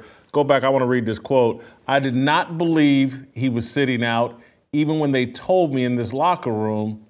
I was like, man, there's no way they're probably playing with us. That Jadeveon Clowney seems to be throwing Deshaun Watson under the bus there. What do you make of that? Um, I, I, I sense the same thing. Um, yeah. You know, I, I don't know what the dynamics are like in Cleveland. Um, I, I know Kevin Stefanski. We were together in Minnesota. I think a, a lot of him. Um, I don't know what it's like to coach Deshaun. I don't know what it's like to play with him. And it's uh, again, it's like I said earlier. It's unfair for me to say he should have or could have played. Um, but that question has been posed now with J- Jadeveon Clowney. Uh, should he or could he have played? Um, and if if the answer to that is yes, they got problems. But I, I don't know the answer to that. How hurt he was. Well, they're, they're saying he was cleared medically to play, and he chose not to. And you know he knows his own body better than everybody else. I, I want to juxtapose that though to Joe Burrow. Joe Burrow is clearly injured, but he's choosing to play, and his play is really, really suffering. And so there's a balancing act between wanting to be a warrior and a soldier, but not putting yourself out there when you can't play at a high level and you're hurting your team. Is that something Joe Burrow needs to think about and perhaps reconsider? Yes and no. I, I assume that he is, you know, he's a smart guy. Um, I, I, I really feel like in that situation, um, where he is, the team he's with, the the personnel, that he gives them the best chance to win. And it, it and it may not be pretty, not right now, but we've sort of seen this before with them. Um, but it, I, I sense a little bit more desperation uh, with each week. So uh, at some point they got to right the ship, and and Joe needs to get healthy. But I, I assume that the the organization and, and Joe feel like even injured, he gives them the best chance to win, and I I sort of agree. So we talked last week or the week before about your Iron Man streak, and it was amazing. And you you said part of it was just out of fear. I didn't want to lose my job. Mm-hmm. What would what would Brett Favre in his prime or in Joe Burrow's position be if Brett Favre felt like, no, I can play, but the organization, the head coach says, Brett, we want to sit you down uh, because we don't think you're healthy enough or or you're struggling right now with the injury. How would how would you have handled it if they had asked you to sit when you thought you were healthy enough to play? Well, there were a couple times where that was the case. Um, and I talked them out of it. You know, for me, I, for whatever reason, I played my best in those situations. And, and not that I was injured, but when my father passed away, I played as good as I could play. When I broke my thumb on my throwing hand, which is something you would assume you're not going to play the next week. And I went to Minnesota on Monday Night Football and played, I think, one of the better games, uh, if not the best game I ever played there. And that was a tough place to play. And I can go on and on. So I don't know if it was what. So when when I was uh, when I was injured, in in the, the few times that the management said maybe you should sit, I always re- referred back to, well, I played my best when I'm injured, and, and I, I never really, not that I can think of off the top of my head, put myself in jeopardy by playing. Um, it was injuries that you know you you could easily say you, you rightfully uh, so that you could sit out and no one say, I don't know, maybe he could have played. I don't think that that was ever the case with me. Uh, and not to mention, I played every game, so injured or not. And so, I mean, I know what I would have done and, and, and did do in those situations. Brett, I want to talk about the New England Patriots and Bill Belichick. They got mollywopped by the Dallas Cowboys 38 to 3. They're off to a 1 and hmm. 3 start. I, I want to play a clip of Warren Sapp last week talking that, that the my way or the highway era is over, and that includes Bill Belichick, that he's not diminishing Bill Belichick as a great coach. He's just saying things have changed. Let's play the clip, and I want your response. Josh, Josh want his guys to do it his way, and these kids ain't doing that no more. They don't even do it in New England no more. Come on, that, that, that that's good. That's dead. That's dead. You got to change. That's why Mike Krzyzewski and all them, Roy Williams and all them great coaches in, the, you know, up and down college football said, I'm going, home. I mean, college basketball said, I'm going home. got, it's a whole different ball game. Come on. It ain't what it used to be. Uh, don't so don't, don't, don't stop. Don't stop there. No, no, I'm saying, this is why I call you the greatest guy talking yeah, football because you done made some points here. You don't. You think even in New England you can't? It, it, the the my way or the highway thing is is out the window. Dead, dead, dead, dead as a doorknob. Dead as a doorknob.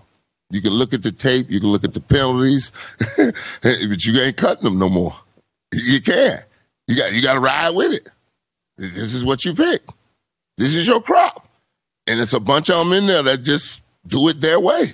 It's crazy. Mm. Do you think Bill Belichick has passed his expiration date, perhaps, with the way kids are today and way NFL contracts are today? I think it's dead unless you have a Tom Brady or Patrick Mahomes or Aaron Rodgers. Um, you you got the players that buy in and, and can play. I think that's the key. You got to have the players, and I'm not knocking his players, but he doesn't have a Tom Brady out there. Uh, I think I think he. I just think that they're mediocre. Uh, I mean, he he definitely rules with an iron fist. Um, and and he's it's a new crop of players. You know, they're young. Um, when you have a guy like Tom Brady who can manage the, the game and play at a level that that he played at, you can win a lot of games regardless of how you coach. Um, but I, I mean, I agree with Warren in the sense that that the trend is going opposite Bill Belichick. But if he had a if he had three or four stud players, uh, that you know we may never see a Tom Brady in our generation again. But um, again, if you had a, a, player or two like that, you can coach however you want. Especially, I mean, just think about it. You got a Tom Brady on your team you rule with an iron fist. You go to Tom Brady and say, look, you got to be with me. You, you got to not complain at practice and bitch and moan. And obviously you produce, but I need I need your help in the locker room in the in playing field. I'm sure that that's kind of the relationship they had. They uh, it was a, a give and take, and he's basically started over with all new young players. Uh, so I agree, but I but I hope my my opinion makes sense. Oh, it makes perfect sense. You you actually made the point I most believe in, and and I have to say that I was in error. I didn't realize fully realize how important Tom Brady was to Bill Belichick's coaching style. That he allowed Bill Belichick to coach the rest of the team in a very hard way because Tom tolerated it. And and and I'm not asking you to gloss yourself, but I'm just trying to speak uh, truth and, and specifically like in Green Bay, when your quarterback refuses to come out of the game, it's easier to build a team that's tough because the highest profile player is the toughest guy on the team. And so that team's going to reflect that and have that kind of toughness when Mike Holmgren or anybody can point to Brett Favre and say that's our standard for toughness. It allows that mentality to reach the rest of the team. Absolutely, I think that's the key. Is uh, your your core good players, and I I can think of numerous times where head coaches uh, that I played for, in private, said to me, "Look, now, I, I just want you to know I'm going to rip your ass, but I'm just doing it so everyone will know that if I can if I can coach Brett hard, then I can coach anyone else hard. And I was like, hey, that's fine with me. Um, and most of the time, I deserved it anyway. Um, so I think that that's that's the key to anybody's coaching style. You know, if you if you're kind of lax and uh, friendly, there's got to be some separation, in my opinion, from the head coach and the players hey, it's all right to laugh and joke around with them, but you got to there's got to be a fine line where you can't cross. And um, Belichick definitely checks the box on that. Brett, finally, uh, just some general thoughts. I think everybody kind of agrees on who the top four teams are the Chiefs, Eagles, 49ers, Bills.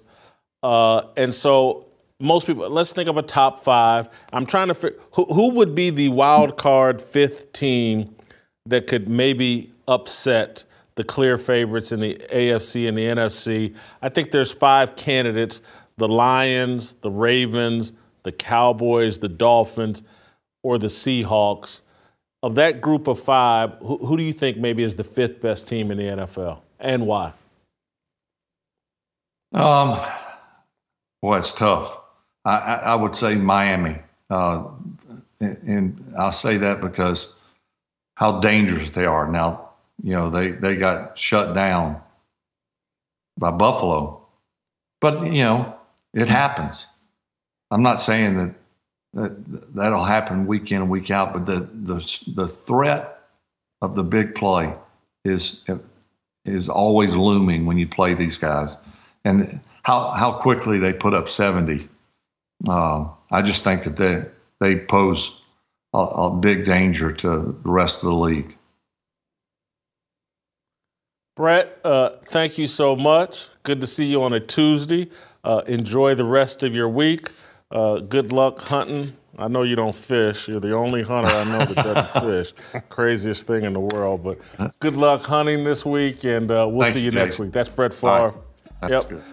Gunslinger. Uh, great job as always. Uh, stay tuned. Shemeka Michelle next.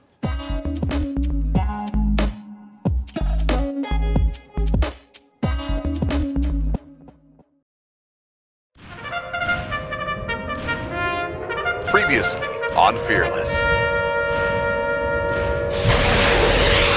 How should we react if, if that does happen, if there is some new variant? What should we have learned from the last time? What should we do different?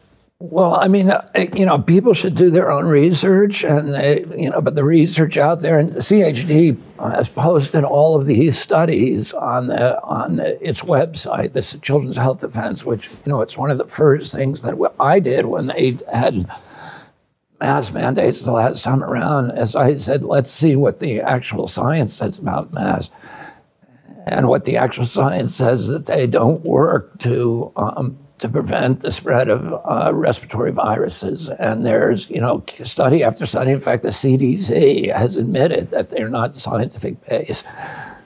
Oh, it, um, you know, I think it's disturbing if they do do that again. But, you know, one of the things that happened is we created this terrible precedent where, um, where the government has shown that people are willing to comply when it when it uh, when it violates the Constitution.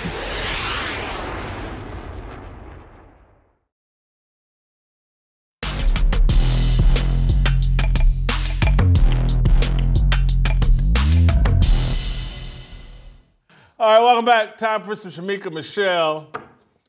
Uh, Shemeka, uh, welcome back to the show. Good to see you. I wanted to talk with you about uh, Congressman Jamaal Bowman. Uh, Jamaal has uh, pulled a fire alarm and and doesn't appear to he's going to face any discipline for it. He's, he he made a move of an insurrectionist, uh, pulling a fire alarm near the Capitol or outside the Capitol, what, whatever.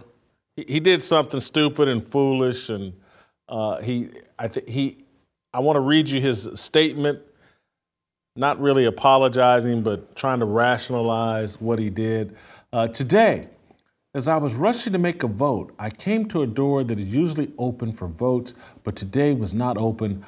I'm embarrassed to admit that I activated the fire alarm, mistakenly thinking I would open the door. I regret this and sincerely apologize for any confusion this caused. Uh, it doesn't appear anything's going to happen to Jamaal Bowman. It's going to be excused. Why do you think that is? Why is he going to get away with this when, uh, if it had been you or me or anybody else on January 6th, we'd probably be underneath the jail? You know, that whole statement is when somebody piss on you and tell you it's raining. I think it's complete uh, black privilege, especially when it comes to Democrats, because most of them just feel like black people are stupid. You know, I don't even understand how someone can think alarm is a door handle. We've seen alarms our entire lives, starting in grade school. So this is just a stupid excuse. But Democrats think black people are stupid.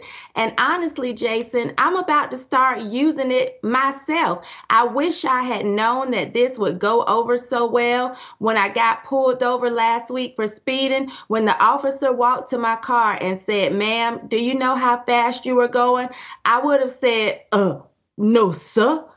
I don't even know how I got here. I'd have just went the whole black route because they think we're stupid. And this, uh, TJ mentioned it early, earlier, the bigotry of uh, low expectations.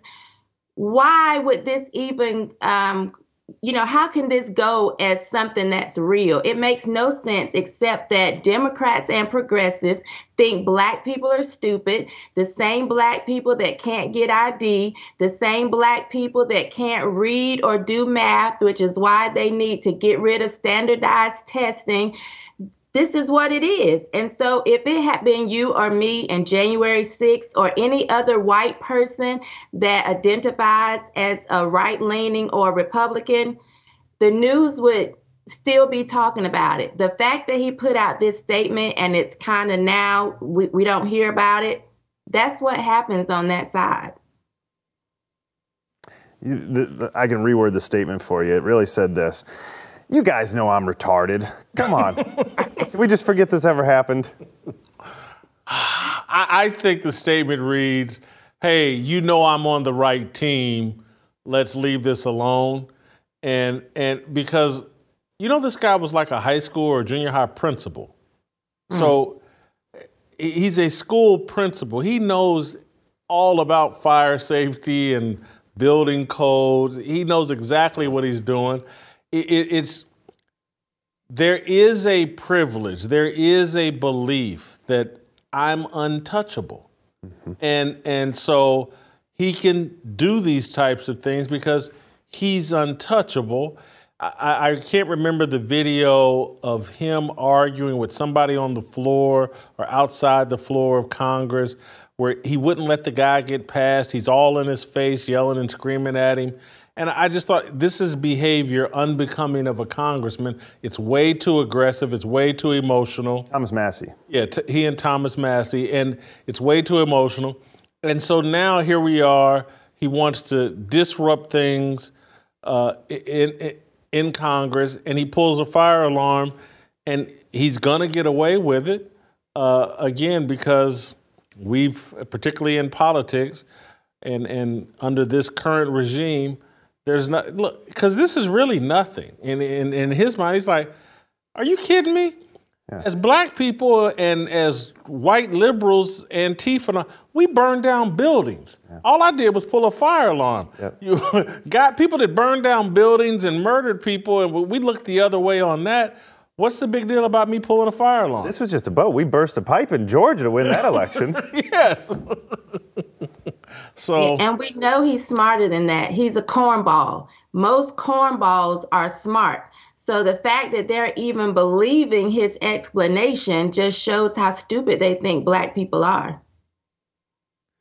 And that's the question, right? Because if even if you're on the right team here, if this is a white dude, does it go virtually unnoticed? It's been whatever it is, 24 hours later, nobody talking about it.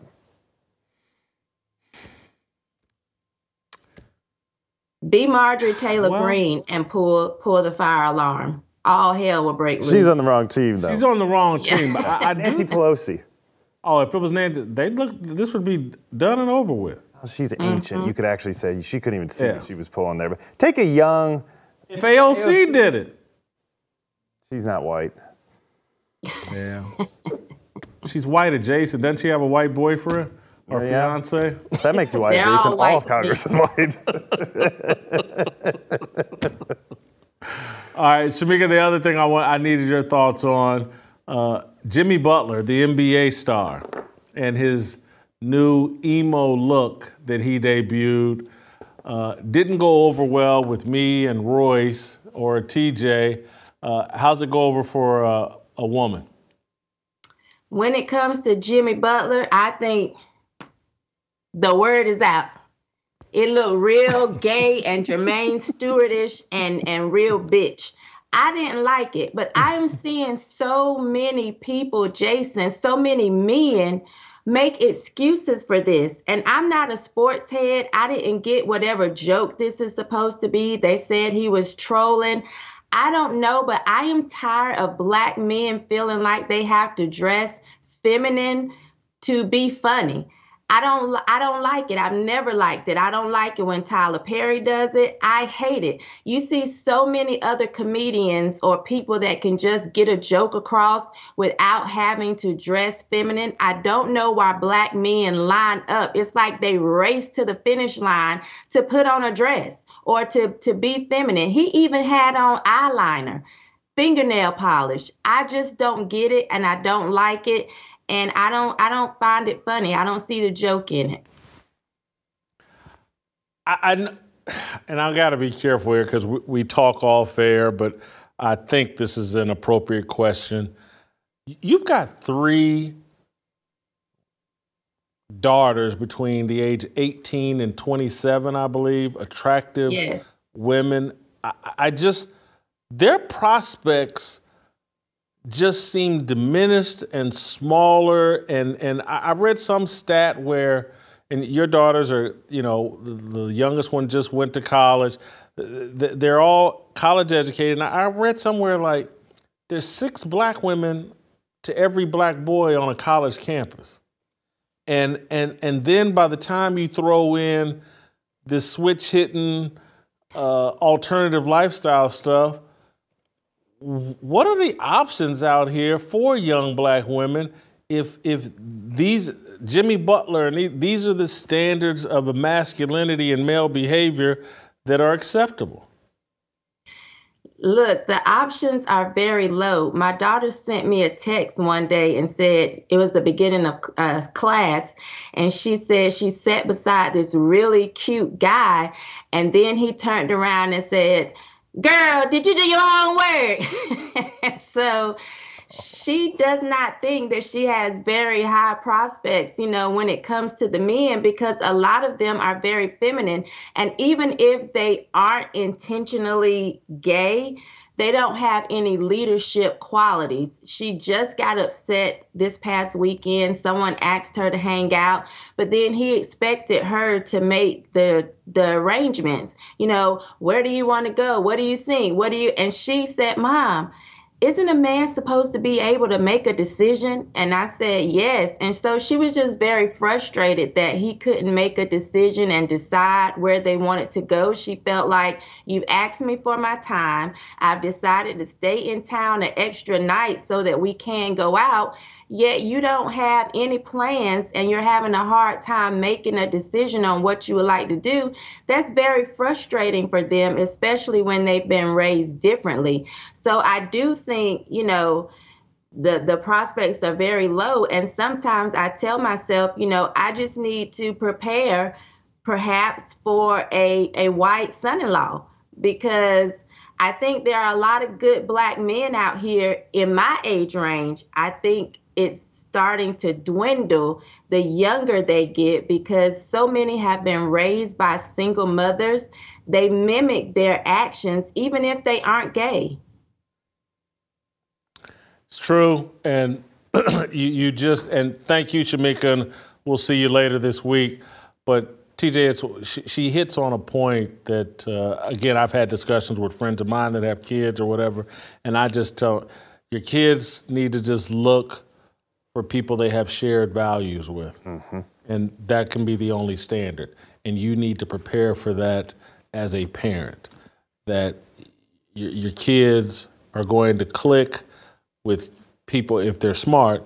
Your daughters and your sons are just going to click up with people that have shared values and skin color and all this surface level stuff uh, is going to be out the window.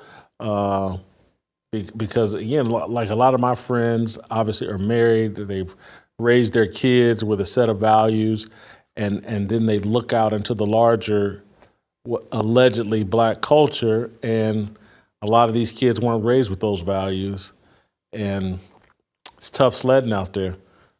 It is tough sledding. I, one thing I tell you, I, and you've I'm sure experienced this. There is culture differences that you have to learn, and it's it's just not such an easy, particularly when you're younger. I, I think it's getting better as far as I think the the older generations do have a lot more prejudice against the races. And as I've, I've said this for a long time, my generation may be the first that was like naturally open.